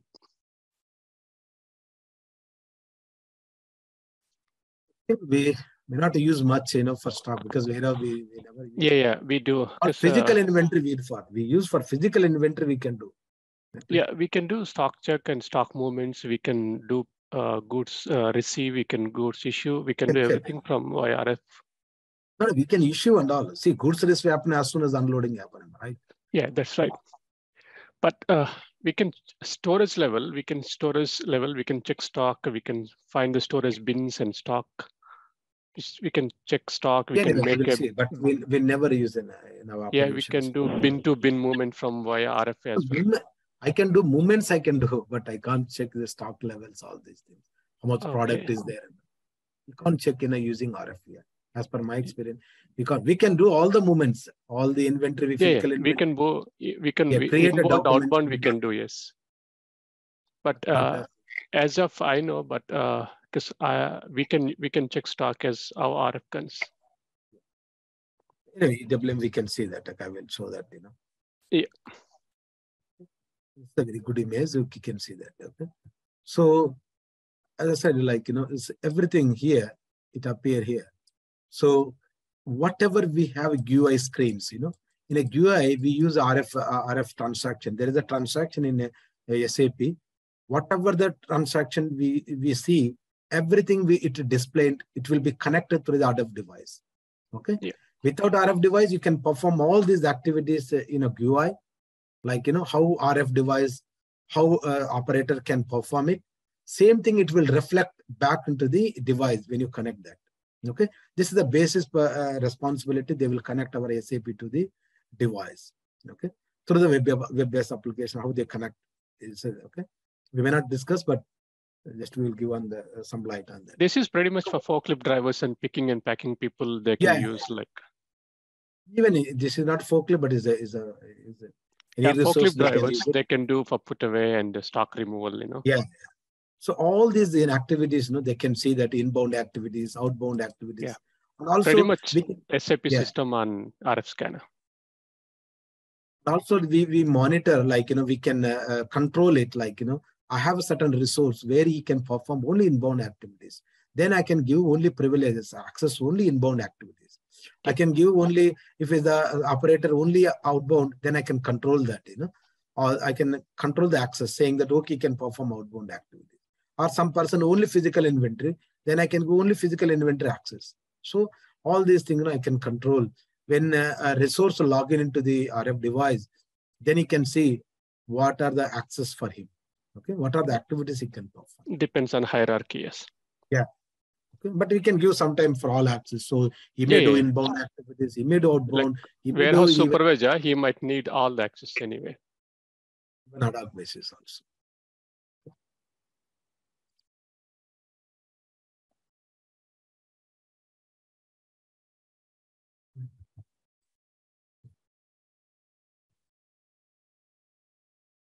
To them. And just I will uh, give one uh, video before um, closing this one. So typical, some of the videos I have so that you know you can understand better. Don't forget to subscribe our channel and click on bell icon to update yourself with latest SAP videos.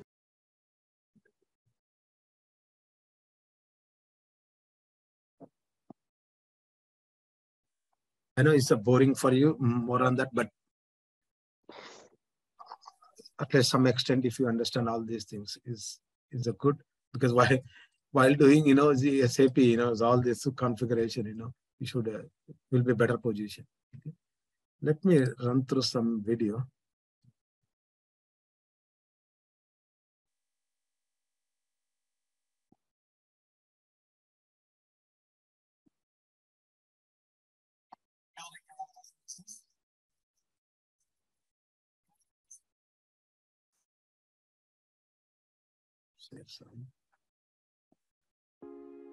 Hope you can hear my sound as well.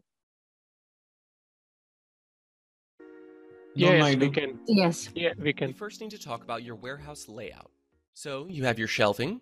Maybe you have an inbound dock and an outbound dock, a receiving station, a packaging station, and a workstation where you can manufacture items, make bundles, or whatever else. The first step is creating zones. Creating zones or areas helps organize your warehouse and increase picking efficiency. There are two clear zones in this model. We have the A zone and the B zone. Next, we define rows. Rows are intuitive because they follow the flow of your picking patterns. These are your locations. Let's take a closer look at row A02. In this example, we define locations based on bay or column and row. So there are nine locations. This location is Zone A, aisle or row A02, bay 102, row B. But within each location, you can have sublocations.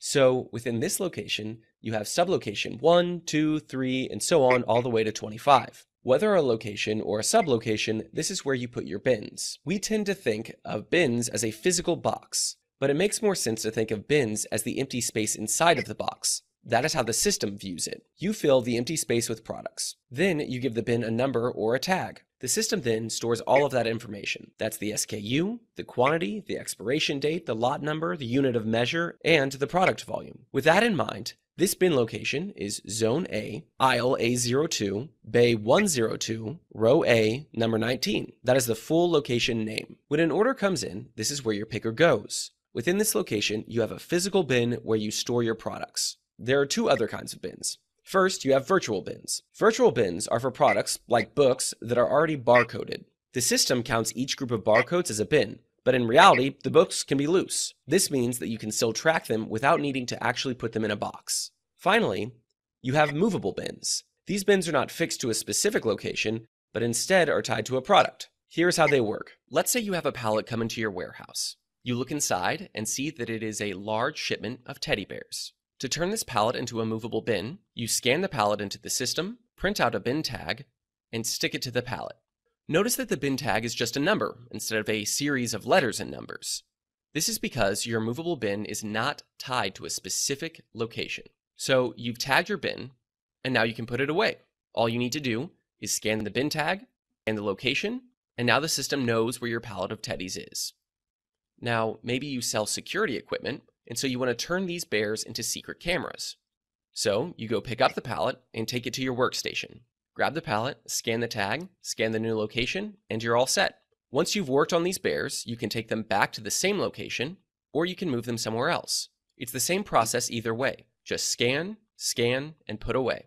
When orders come in, the system always knows where to send your team. To further explain, I want to give you an analogy. Imagine the city you live in, or the city you grew up in, These are typical in some warehouse locations. Also show some uh, another smart warehouse, you know, this is a DHL warehouse, smart warehouse.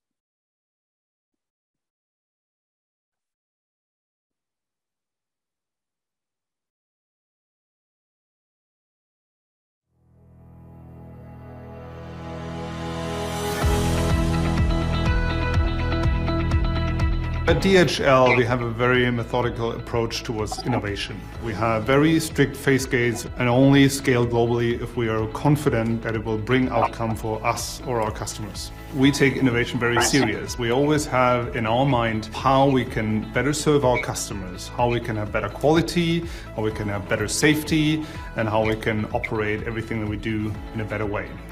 We publish a trend radar. We look at social, at business, or at technology trends in a very frequent manner.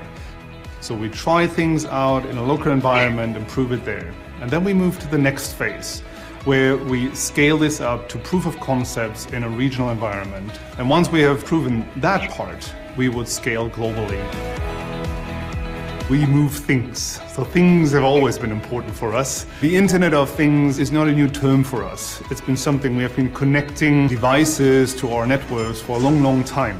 Data we are actually looking at is something that the IT systems had it there for, for many months or even years. I think that the IoT platform what brings is give us access to the data in a very fast manner, real time. We have a unique position. We have a great breadth of operations across the globe. We are the biggest player on the market, and we have had really good success in driving those innovations across the globe. Thanks to our executive relationship with Cisco, they basically brought a product that today can definitely cover that indoor positioning with the infrastructure we already have set up. What is important also is that you have a visualization tool that helps you understand that information and put the information into context. This is why actually we needed an extra partner, and in this case, Conduce was brought into the mix. So the three parties, Cisco, DHL, and Conduce, actually put the system together. Basically, you're using uh, four sources of information. The first one is around indoor positioning. We are able to capture the Wi-Fi location of our scanners. We are also capturing the utilization of our material handling equipment. We also are capturing data around uh, the warehouse management systems, what are the tasks that are actually directed to our users. All those sources together basically bring us the visualization in the warehouse. As we started the project, we actually looked mainly at two aspects of that. One was around increasing efficiency in our warehouses. We want to see if we can actually run them better. And the second one was around safety. As we basically move forward, we want this actual tool to give us some insights in terms of making decisions. Aggregating the positioning of the individuals, we can actually get very interesting insights, such as, for example, heat maps. The heat maps will, of course, give us where are the highest concentrations of individuals and also with the forklifts. And as a result of that, we could also bring some proactive safety measures. For us, what is important is to ensure whether the new technology actually is going to bring a benefit or not. We do have a series of lighthouses, one of them being Beringen. A lighthouse facility is a selected site where we show our best practices in operations and use it also for pilots in new process setups. The Internet of Things gives us a better view into our warehouse. We can replay activities over a period of time and analyze what happened and try to find alternatives. For the size of this operation, 40,000 square meters, it's impossible for a supervisor or an operations manager to have a full overview. Our first use case was asset utilization, material handling equipment, where we can analyze the usage over a day, a week, or a month time. The inventory optimization identifies opportunity to put the right parts at the right spot of the warehouse to minimize travel distances. For safety, there are two ways to use the tool. We use it to review the traffic plan, so you can see the heat maps and determine if the flows are okay. And we use it to review incidents, so impacts or collisions, because the tool will really show you what happened. With the tool, you another uh, digital warehouse. I will show last one okay, before closing. There is a ARS, okay, automatic storage and retrieval uh, warehouse technology, where completely the equipments, there's no man intervention. So this is a one more. I will show this last one video.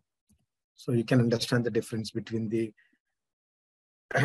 smart companies of all sizes use BigQuery to uncover new insights from their data, like cost savings. A lot of companies they are moving, you know, uh, to into MFS automation. Okay, even for picking they use some equipments, or even for uh, packing also equipments. So because they're trying to reduce the operators, you know, warehouse operators. So everything by equipments only. Okay, for put away or stock removal. I'm telling you know, even as you know that even in operation now robots is coming to play. So similarly, for even near future, you know, they will replace by humans for all warehouse activities. So that's why you know technology is going.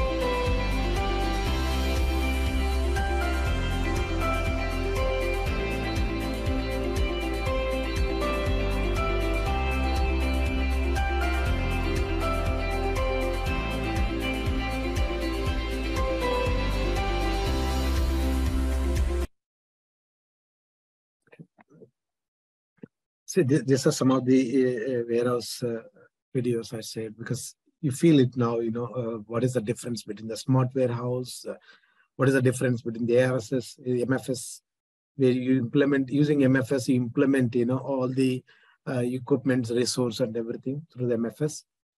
There is a PLCs and all, but we are not discussing on this one. This is very complex to set up here.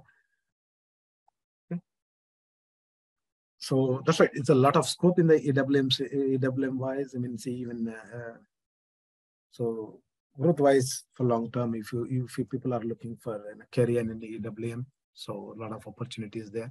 As you know, the WM is a sunset very soon. So as I said, thirty thousand warehouses are there with the SAP. So how I don't know how many is they completed EWM, but you can say even not even twenty percent they're completed. So imagine uh, 30,000 if you remain 80%. So everybody should move into one day the EWM system. So a lot of opportunities, not only EWM, even transport TM also. That is the TM is also most emerging field in the SAP now. Okay, they are the one of the second leader, but they are going to, uh, they're trying to reach uh, top level in the market. So EWM with the TM is a deadly combination. Okay, if we're looking for uh, long term, at least 10 to 15 years, at least 20 years, I can say. Okay, a lot of future on EWM.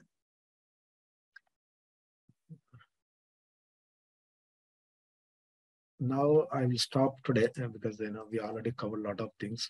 Tomorrow we will uh, discuss more on that. This is the uh, complete uh, SCM. As I said, SAP is a part of supply chain end-to-end -end flow.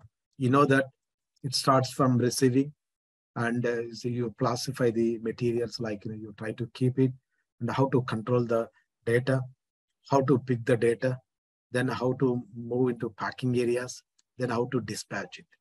Okay, this is the like you know complete flow. Okay, starts with that. And as you know that you know whether you are going to use the Fiori applications in in your warehouse or is a smart devices or RF devices. Smart devices means even even mobiles are going to use it. Okay? Smart devices is a little bit heavy to carry. People are going to move into smart devices like you know for phones and all like that.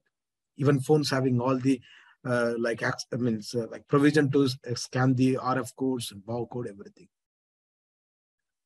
So that's why this technology is growing and uh, people are also looking at different options. Not be the remain same for, for, for all the time.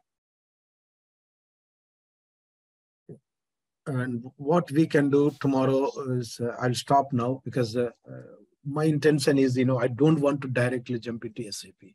Okay. No matter how you feel today, but I wanted to come some brief uh, terminologies. I know some, at least some extent you learn today.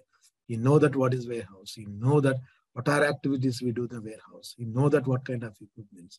You know that uh, RF guns. You know that, you know, forklift. You know the packing material.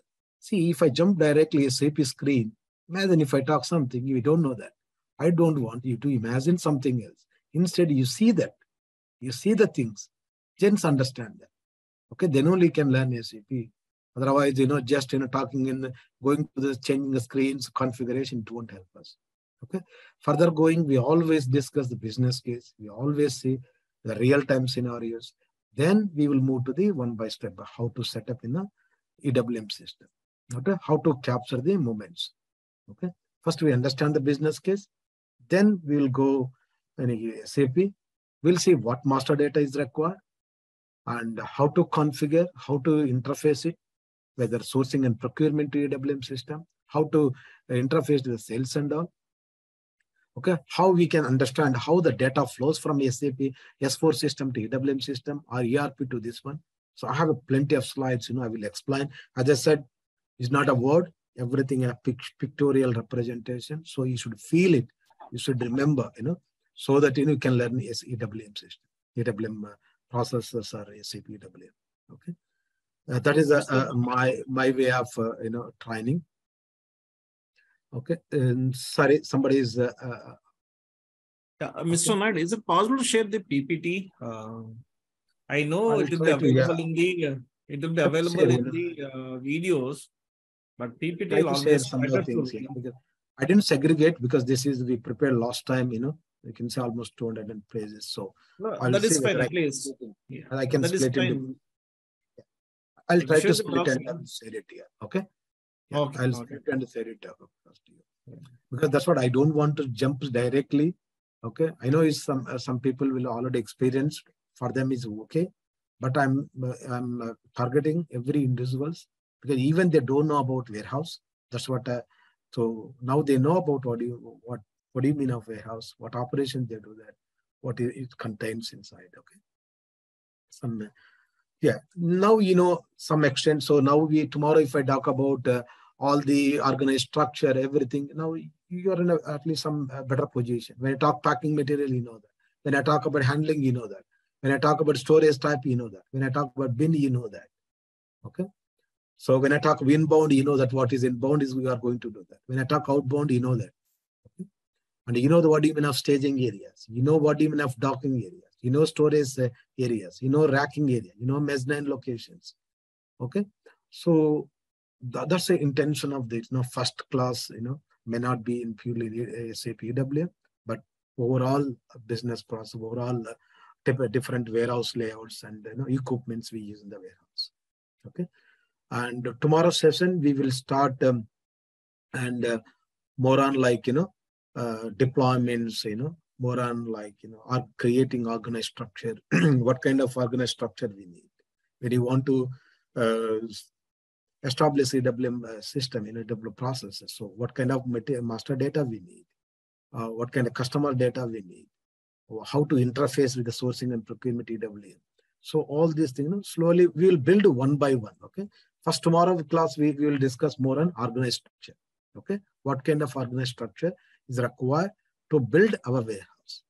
Okay. And also uh, tomorrow we will discuss more on like, you know, I'm going to uh, design, I designed already warehouse, but I will uh, explain how, how you are going to assume that you are planning to implement a warehouse, where you are going to start, okay? How you are going to start, how you talk with the uh, business users, okay? Business users means imagine I have a uh, implementation partner, I have a company where we are going to implement the SAP, okay? How you are going to approach for them, okay? What information we collect from the business users, okay? So because we are the consultants, we talk with the business users, okay? There is implementation company, there is a uh, company they need implement, okay? Some X company, okay? How consultants will interact each other to get the appropriate data and uh, to populate it, how we train them, how, how they will benefit uh, from our training, okay? So how everything, how we prepare, what kind of documents we prepare, all these things we will will discuss tomorrow session, okay? And also we'll design our, our warehouse. Assume that we will start from the scratch and uh, so assume that you are starting a new project, uh, okay, where you start from that project okay how many racks we need how many doors we need how, what kind of uh, whether Deco work center we need whether VAS work center we need okay? How many uh, racks we need whether we need a quality work center whether a scrapping area you need whether a return process we need we are going to do that okay? When anything uh, when it's some receive a product but you, some region you know it is not going to the main location system is driving different. So we call it the red zone. So like that you know how many outbound side, how many outbound doors we need, how many staging areas we need, how many packing work centers we need, whether we need a VAS work center here, uh, okay, whether we have a shipping office, whether it's inspection office we need, okay, uh, and also add add how many ads we need for inbound side, whether we need three, four, five inbound uh, ad bins or outbound side, how many we need, okay. So all these things, you know, we discuss it. We'll go stage by stage so that you know you will uh, grab all the terminologies and you know all the processes and everything. Okay. This is what i'm going to do tomorrow. Uh, we will design we will design we will uh, understand this layout. And uh, based on this layout we are going Don't forget to subscribe our channel and click on bell icon to update yourself with latest SAP videos. and try training. Will go this one only. All our training every day we will discuss about this warehouse First, we discuss the one business case. Then we'll go to the SAP and we configure all the things like that. For every process, we'll discuss first as a business case in a real-time business case. And we assume that I'm one of ex business uh, business person is uh, is giving you like you know, requirements. Then how to collect as a consultant requirement, how to convert the requirements into uh, uh, in a real-time SAP system.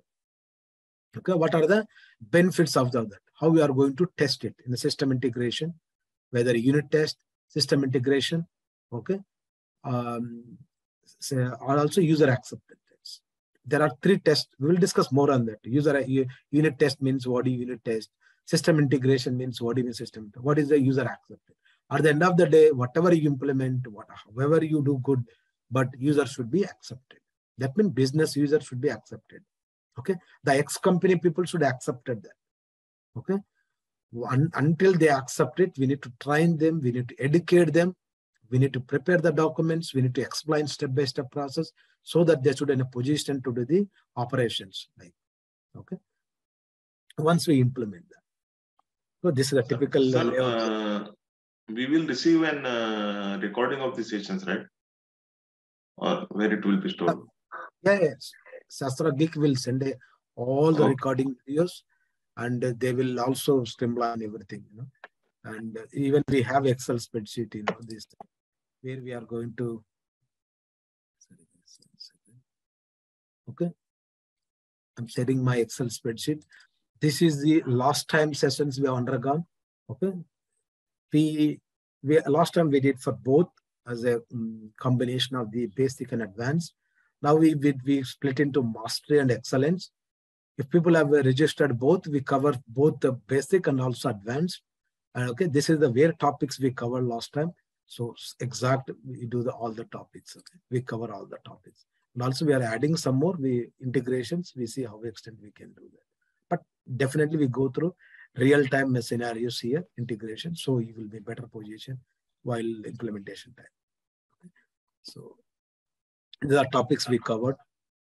So that's what I'm also going like uh, one by one. So today we covered is the like, you know, warehouse layout. You know, the warehouse layouts now, typical layouts, you know, the terminology, you know, some basics now about the uh, uh, warehouse. So we'll start more on like, you know, tomorrow, SAP screens, where we will go through all the screens, how it looks like. And then we will start with the organized structure. Then we'll go next uh, EWM organized structure. So say one by one, we build the uh, steps, okay? So that uh, you will know what you have done previous day, what you are going to do today. We'll Mr. Can you share the sheet if possible today? I think uh, he will share. I think so. You ask uh, Shastra whether uh, Aman or uh, they will share the things. But I don't know whether they can share it. But they might have shared a syllabus. But whatever syllabus, you know, I'm covering here. So, you know, if you go say syllabus, I can't jump it here and there. If I go my flow, we'll be covered all the topics which I've mentioned in the uh, syllabus. Okay. This is a streamlined way we have done it so that there is a connectivity between the topic to topic. So that, but whereas it is in the syllabus, it's scattered, right? Some topic you do, some topic will be. But this one is the connect, interconnected one topic to other topic. Just check with the Shastra guys, okay? For all providing system, material, everything is the, is the, their job, but you just you talk to them, you can get it from them. Okay. This is Sir, Naidu sir, each class would be two hours, right? Maximum two hours. Yeah, that's what. Yeah, please, because uh, by the time we finish at 2, 2.30 over here, we have to go to work the next morning. Yeah, no, no, actually what we are thinking, you know, initially we thought Saturday class, one and a half hour session, and Yeah. Sunday is a two and a half hours because you know a lot of a couple of yes guys are there. Assume that if yes people are there. For Saturday would be is great because if you do Sunday two three hours is very hard for us. Like you know, we have to wake up in the Then we can split. Yeah, we can change it. See, see, the first time we have we have done it, right? So Yeah. based on your feedback, we can always adjust the certain timings. Maybe one hour late, one hour early, or we Yeah. can plan. Yeah, please. That's if why we- Saturday would be uh, no issues, and only Sunday because Sunday I'm from Australia. Because uh, here Sunday I had to wake up at two o'clock in the morning to attend your class. By the time your class is going to be finished at four o'clock, I had to wake up again in the six six in the morning, start working again. Any questions you want to ask?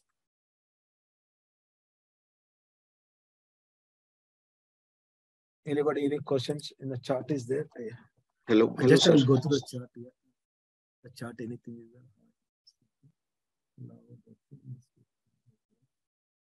Are you sharing the presentation slides? Yeah, I will try to share Subramaniam. Yeah, uh, but that's why I need to split it. Uh, somebody asked Tan Bukhari, I think so, why we need to unpack and removing to bin. As I said, am I right? If I don't know whether you are here, but see, as I said, you know, majority we may not receive uh, all homogeneous material. Sometimes non-homogeneous. I mean, two different products in the uh, one handling units. So that time you need to, we can't put a, a, a non-homogeneous material one location. Okay, we do unpacking. There are occasions where you see very big handling units. That handling units may not fit into either in a bin. Bin is also designed, right? there is a length and weight and height. You cannot fit. There is a design maximum 100 cases, one ton. But if it's a handling units more than one ton, then what do you do that? So we need to unpack and repack, put into the warehouse. along this concession. Yeah, this, You mean consolidation, deconsolidation, right? yeah, yeah, yeah, that's right. And also somebody is a visa is a cross docking and uh, uh, direct transfer. Cross docking, as I said, am right? You receive the goods and you may not store in the location. Once you unload it in the inbound staging area, direct to goes to outbound staging area. Then from there you deliver it. Okay. How do how do you know the system where which product is a cross docking? So we need we need to maintain certain master master data, such a way that when when, when as soon as unloading happens, system will directly divert that product, the handling unit to the outbound staging area. Okay.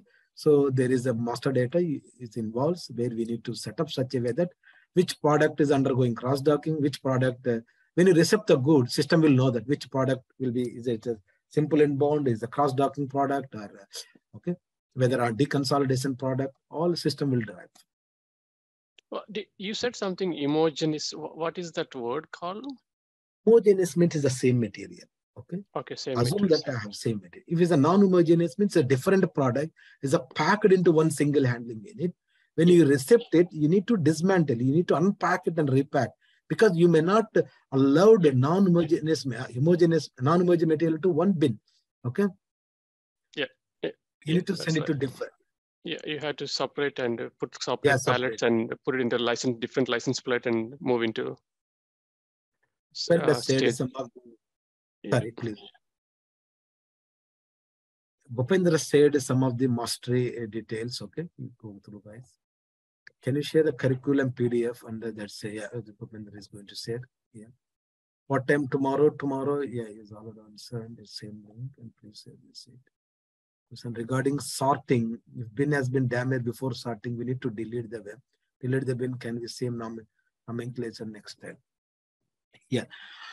See, if is a bin is damaged, the physical damage happened, right? System wise, nothing happened. So we can we can repair that bin and we can put it, okay? Or we can block that bin temporarily, okay? We may not, uh, Akash, I right? You're asking? In real time, yes, there are several times bin will be damaged. That bin, you know, we can block it temp until fix it, or you can permanently, we can, if you want to, you know, system, uh, if a warehouse things no longer require the damaged bin, then we can delete that bin. Yeah, it's not that problem. For example, you want to again, you deleted, you want to create, yes, you can create next time. That's not a problem. With the with the same nomenclature, right? Yeah, you can create. Yeah. You can create a single bin. You can usually single bin you can create it. See, typically we upload them right as a bin because in a warehouse, complex warehouse, it may require uh, 100,000 bins or uh, 1,000 bin, 10,000, 70,000. It's all like it varies for that. So you may not going to create a manually. Okay.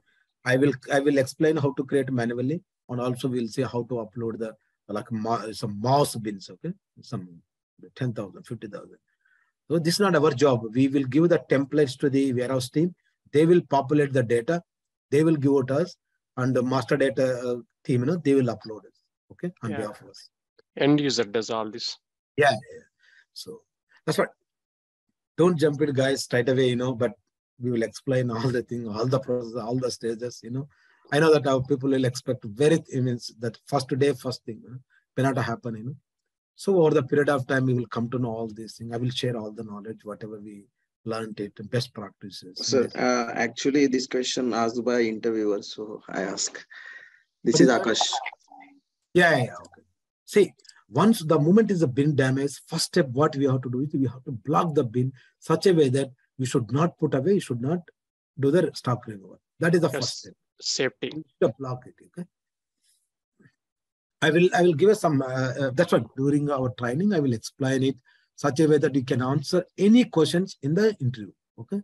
As I said, you know, this not a, is a conventional uh, training, guys. This is a real time. You know, I'm trying to bring as much uh, real time uh, uh, possible. You assume that you are implementing, you are doing some uh, EWM project on this one. Okay, not just you are learning.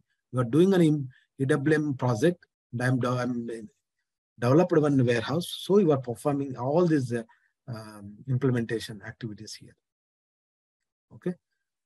And uh, as I said, we are covering griefs also. Grief means like, you know, what happened if is a uh, inbound you received uh, and surprises you have seen. Okay. You may receive over quantity, you may receive under quantity, under deliver quantity, or you may receive damaged quantity, or so like that there are a lot of uh, uh, um, surprises we see in real time. That's bin called capacity as well, right? yeah uh, all the griefs we cover. And also outbound side we cover a lot of surprises in outbound also. Not only happy process even not happy process. Like you know what happen if is a, you pick a wrong product you, you do not have a stock in the warehouse how you are going to manage it? How you are going to use exception codes there? Okay? And so that's why in outbound what happen if you deliver it? There are occasions you picked and packed and suddenly customer said we don't want that. How you are going to perform reverse that? How you are going to put it back to the stock? How you are going to cancellation of the process? Okay that's the outbound grief okay? And how you are going to correct the stock okay by creating physical inventory. Okay? How you are going to move the product ad hoc based one location to other location. So we, that's why in all real time scenarios we cover it because first class i don't want to jump into sap that's because a lot of people bore and also they will lose enthusiasm.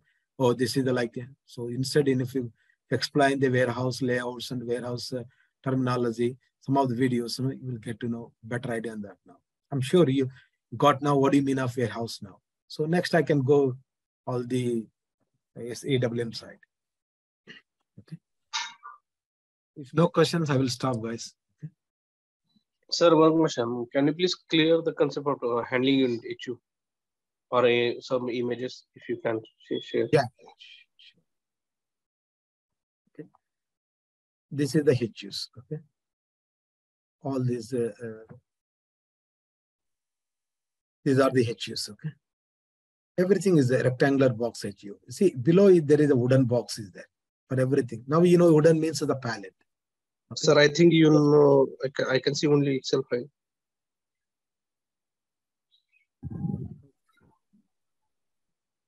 Okay. See here, yeah. every uh, box, am right, is a handling unit.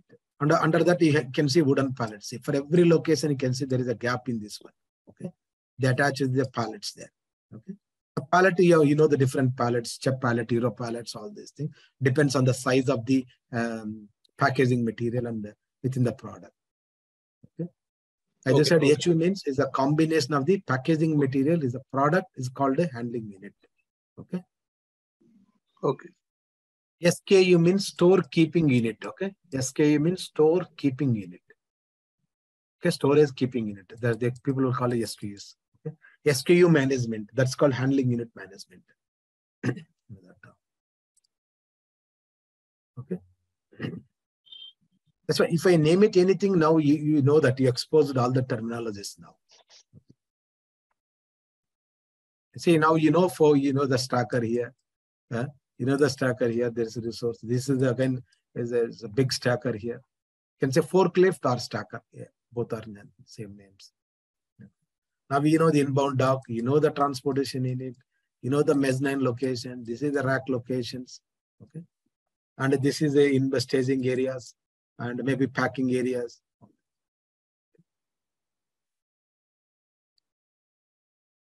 Any questions, guys? Sir, what is identification point in warehouse and where is it located in uh, this layout? Identification point, I'm sharing my warehouse. Why we use identification point? There are occasions, am I right? So where you uh, where you recepted some product. Hope you can see my warehouse layout. Okay. Yes. When sir. you unload it into through the door into staging area, then HU. HU means you know rectangular box, and you know that pallet will be there all the time. Okay. When you send it to deconsolidation work center, where you because if you receipt is a larger handling unit or small or a non-homogeneous, then you unpack it and pack it into two HUs. Then you unpack and repack.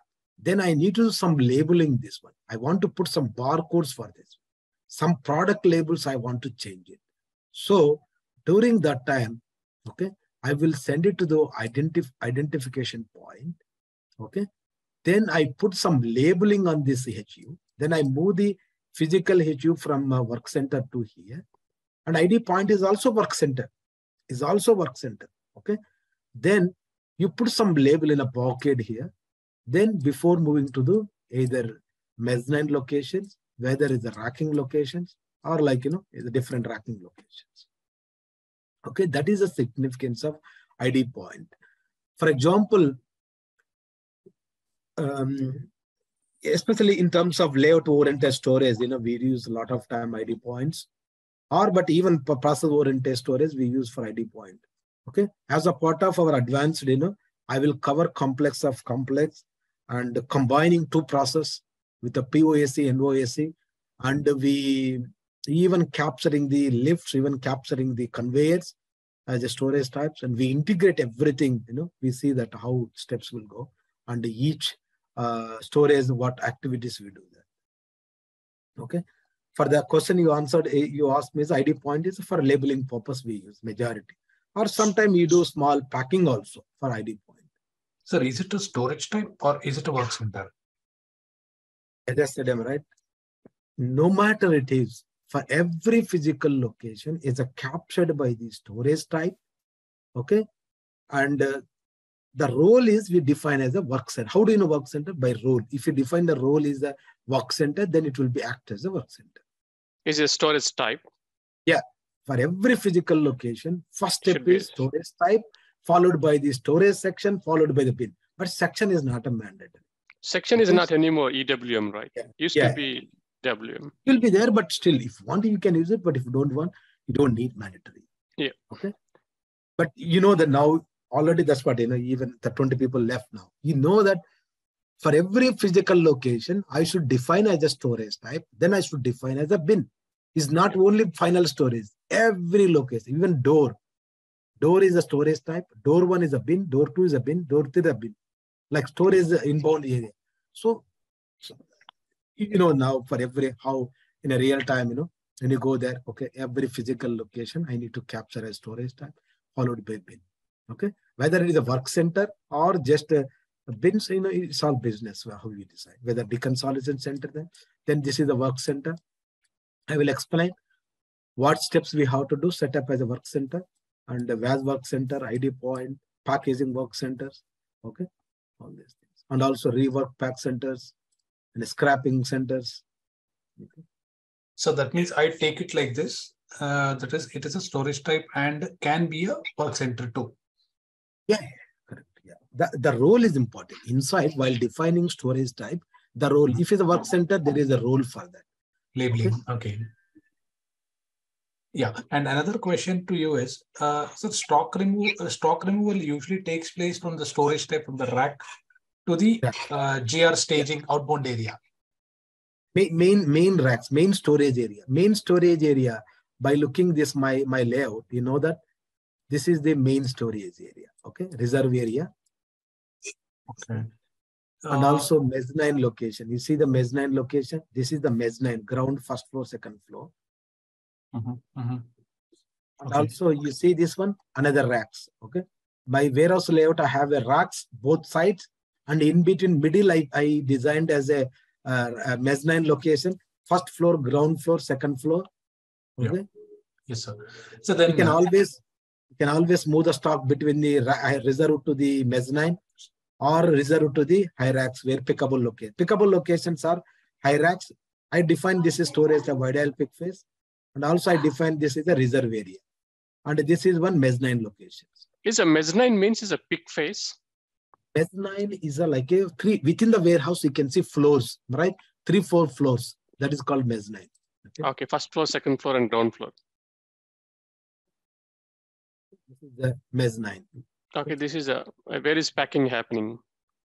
See, This is the ground floor down. Yeah, and uh, this is the where the conveyors are there. Yeah. See, sometimes they are using as a, a you know uh, steps, or they use a lift, or they may use a, a conveyor also to move the product and to retrieve the product. Yeah, thanks, thanks for that. Guys, hope you you are happy today's session because uh, you understand the now layouts, you understand the you know terminologies now. Okay, and tomorrow we will enter real time SAP. Yeah, th- thanks for your time today. Thank you, sir. You all, I know it's a bit late, but you know it goes like my sessions will always goes like this. I know we we put some timeline, but we goes like this. Okay, bear in mind. Can, can I ask you, sir, are you from uh, are you from India somewhere else? Based in UK. Oh, UK, okay. It's a good time for you anyway. I get up early morning is fine. Early morning, yeah. Yeah, yeah. Yeah. Th- thanks for that, sir. Yeah, but see, if you have any concerns, anything, you know, please contact SastraGeek, share your experience, share your feedback, you know, what you good, what you are not good. Okay. It's always, you know, there is a chance to improve the process. There's a chance to improve the things. So you always give a feedback. Okay. Then we will uh, act on that. Yeah, all good, sir. Thanks for your time today. Yeah. Enjoy the weekend and we'll see tomorrow. Yeah. yeah. We'll, uh, that session. Okay. Sure. Thank you. Thank you all. Have a nice day. Bye bye. You too. Bye. Thank you. Yes, somebody is asking. Yeah, is this Kumar? uh, Sak- Sakat Kumar is asking. I'm totally new to landscape. Today's session was really, yeah. So good. Uh, that's what you know. The intention is, uh, you know, uh, uh, means in the con- I mean, targeting all wider context of the people. So even they don't know about warehouse, they don't know about SAP. So I'm focusing on you know for every individual, so, that they will understand the SAP W. Why is Ramesh asking kitting? Anyway, last I will answer last is Ramesh. Ramesh is that if you are there, kitting means like as I said, like you know, there is a business requirement where you want to you have a some uh, some some for example you have an engine, you know, manufacturing engine where you want to you do you may not going to assemble every product, but you you select you pick all child products. Engine is a assembly, and all relevant parts you pick it and just you put into one uh, HU, okay, one handling unit. Now you know packaging material. All you you pick it and pack it and just you uh, you know put it back to the warehouse so you can deliver to the customer. Cu- Customer will assemble it that. Okay, kitting is like you know uh, collecting the all individual products and uh, pack it and deliver to the customer. That is called kitting. Okay, reverse kitting means you can dismantle again for example, some certain cases you deliver a customer, but there is problem. You will, if you send it back again, you do the reverse kitting also. Okay. Yeah, kit is a like you know you you can use the kit even to value their product also. You may, for example, you want to give some uh, Similar, additional can say. bonus kind of. You can buy For example- IKEA, IKEA Yeah. stuff. They give you all the separate parts and you know give it to you. Then we have to assemble ourselves. The kind of kitting, you know. So, for example, when you buy a, a phone or anything, within the phone you can see that whether it's iPhone or whether you have a phone, um, Multiple buds, parts. You have, yeah, you have a, all these things, charger, everything, you know. See, all together, phone with the charger, all this, you can also call as a kit. only. Okay. Uh, you mean to say it's a complete package having, uh, you know, Yeah, that is all complete. benefits. Yeah. So kitting it works through the production order. Okay? Through the production order. The production order having a um, assembly under the assembly bill of material. The bill of material means what products child parts require to as- assemble that that component. Sir, if I take it in that way, if I have some automobile parts, you also have some service parts associated to it with it. So, you know, uh, the production part with the service part, something like, you know, washers or something, that would become a, you know, this complete set is called kit, right? If I, if I had understood correctly. Yeah, that's what. If it's Okay. a if it's a driven by the through the production order, then production order having a assembly and under the Don't forget to subscribe our channel and click on bell icon to update yourself with latest SAP videos. assembly you have a bill of material then through that order you know you perform all the kitting activities okay? For example you know you may not uh, assemble here. Okay? For example uh, you want to do some third party. What do you do? You pick all the products child products and use deliver to the third party. They will assemble they will assemble and send it back to us. Okay. Yeah, via So, bill of material, via BOM. a BOM yeah bill of material. That's through the production order that's what i mean Yeah. Any kits, it works through the through the production order. Okay. Uh, Sir, nut bolts or fasteners is also part of the kitting part. Pardon? Pardon? What is what do you ask? So nut bolt fasteners also is a part of the kitting. No, no, these are the storage areas. am I right? Anything else? Oh, so Ramesh is asking what is a wave. Okay, wave is a is a is a simple terminology. What happen is you know you get a lot of customer orders. Am I right? Releasing You get hundreds of customer orders. You get a hundreds of outbound delivery system creates. Against the outbound delivery, you you plan it. Can you release it one outbound delivery to perform activities picking and packing, or you want to optimize everything combined into one so that you know whether I two one customer place three four orders so that if I combine it, I can deliver one time. I can pick it all one time. Okay. Assume that I have a same product, different customers placed it so that can I go one time pick all the customers one time, or I, every order I have to go and pick it. Like how you want to optimize it, you are picking uh, tasks. Okay. So what you do is you get all outbound deliveries, you combine it, and you you sort out based on the your activity areas.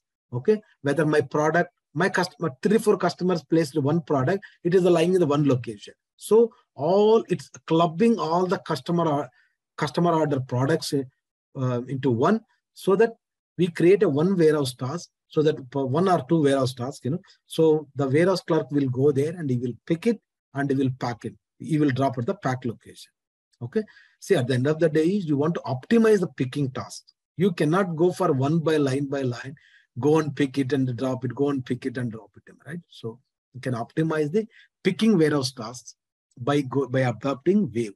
Okay, there are so many concepts. How you do the wave, okay, how you can combine it, how your system that creates a different warehouse task, okay, how you can segregate the warehouse task, okay, where is the product, okay, if it's a similar product having a customer place uh, different products, then how you are going to get it, how you are going to segregate it, okay.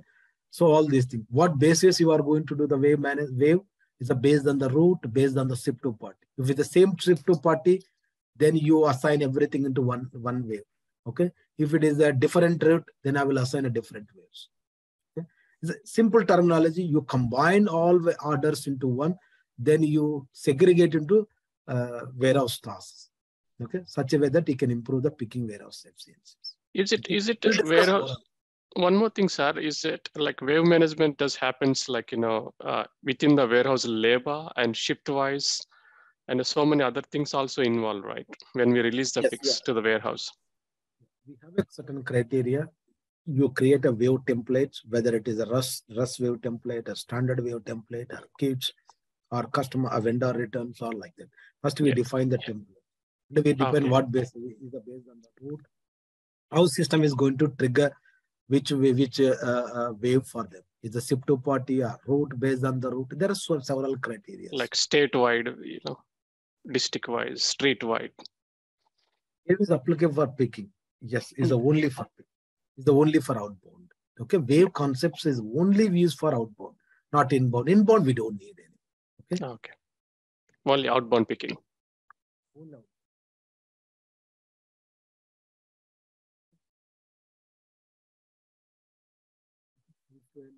Yeah, we- can answer all the questions. You know, even if you have something in uh, in your mind, so don't worry. We will uh, clear everything, every doubt. Okay, but don't hesitate to ask. Okay, no problem. Even a silly question, if it's a good question or a bad question, okay, you ask. Okay, but don't keep it in your mind. Sir, one question to you, last question to you. So during the festival seasons, we definitely look out for efficient warehouse, uh, you know, uh, efficiently warehouse will you know, do work. So how do you expect orders? For example, Yeah, Amazon. Yeah. See, it depends on the type of warehouse, you know, uh, whether it is a retail, whether it is a distribution center, whether manufacturing industry or food industry. Okay. I just said like, you know, fast moving and slow moving. Okay. We will define certain racking such as fast moving and slow moving. We will, will define seasonal products, which is the, like, for example, you know, based, as we asked them, at festival time, retail industry, they, because they, are a lot of, uh, you know the products they have a lot of demand. So we will keep demand products uh, front and if they will put other uh, non non demand products in the backside. That means we will design such a way that warehouse structure. So we keep fast moving items very close to the picking picking area so that customer uh, picker can easily go then pick it. And the non-demand item will keep to the backside. So that's what we will define. And also like you know some controls will be there system will propose fast moving and slow moving. What date what time will define such a way that system will propose automatically? It changes flip flop that okay? Which is a fast and which is a slow moving or which is a seasonal project product. I just said i'm right? Uh, if it's a food product when you receipt it it may not stay long from the some of the products maybe 10 days 5 days. Our system will propose for us okay based on the shelf life expiration date and you know whichever goods received okay? There is a concept in a stock removal and put away strategies such a way that system proposes okay? That's a business requirement also which product should come first whether goods recepted one first or based on the life. If it is the 10 days is already 5 days but another product we got that 6 days is there. But 5 days shelf life we use system propose 5 days one rather than 6 days. But 6 days means still one day is left right? So always system propose 5 days product because 6 days product still we have one more days left so like you know yeah if you go find FIFO details you know so FIFO and LIFO. yeah. So, so it depends on industry, guys. You see, that's what this EWM can be implemented any warehouse. In distribution center, the business requirement different. If it is a food industry, the business requirement different. If it's a manufacturing, the different. So, oil and gas, like, yeah, it's a manufacturing. If it's a warehouse, the linked with the manufacturing, the requirements are different. We will give uh, overview for everything, but yeah, if you learn one, one, one. Uh, SAP WM, you know, one training, that's more than enough. We can always on the job, you can learn some of things, even if you do not have much experience on that. Okay. But the concepts remain same. The basics remain same. If you good on this concept, that's it, you can implement any industry. Thank you, sir. Thank you very much. That's too late for you guys. Okay. Uh, take care and uh, we'll see you tomorrow. Yeah. Thanks for your patience as well. That's at, at the end of the day, how, how much you show a patience, it reflects my side as well. But as I said, like, you know, some people will be um, timing constraint. Yeah. I know it's because of uh, geographical timing difference between India and UK, US and you know, Australia, New Zealand. But yeah, you know, SastraGeek is trying their best and my availability and, uh, you know, your availability and it's, it's a challenge you know because two di- different geographical location to capture yeah that's what I even i accepted a morning to accommodate and sunday is different yeah So make it at least couple of hours uh, strict, sir. Then yeah it's fine yeah okay okay. Yeah. Thank you very much.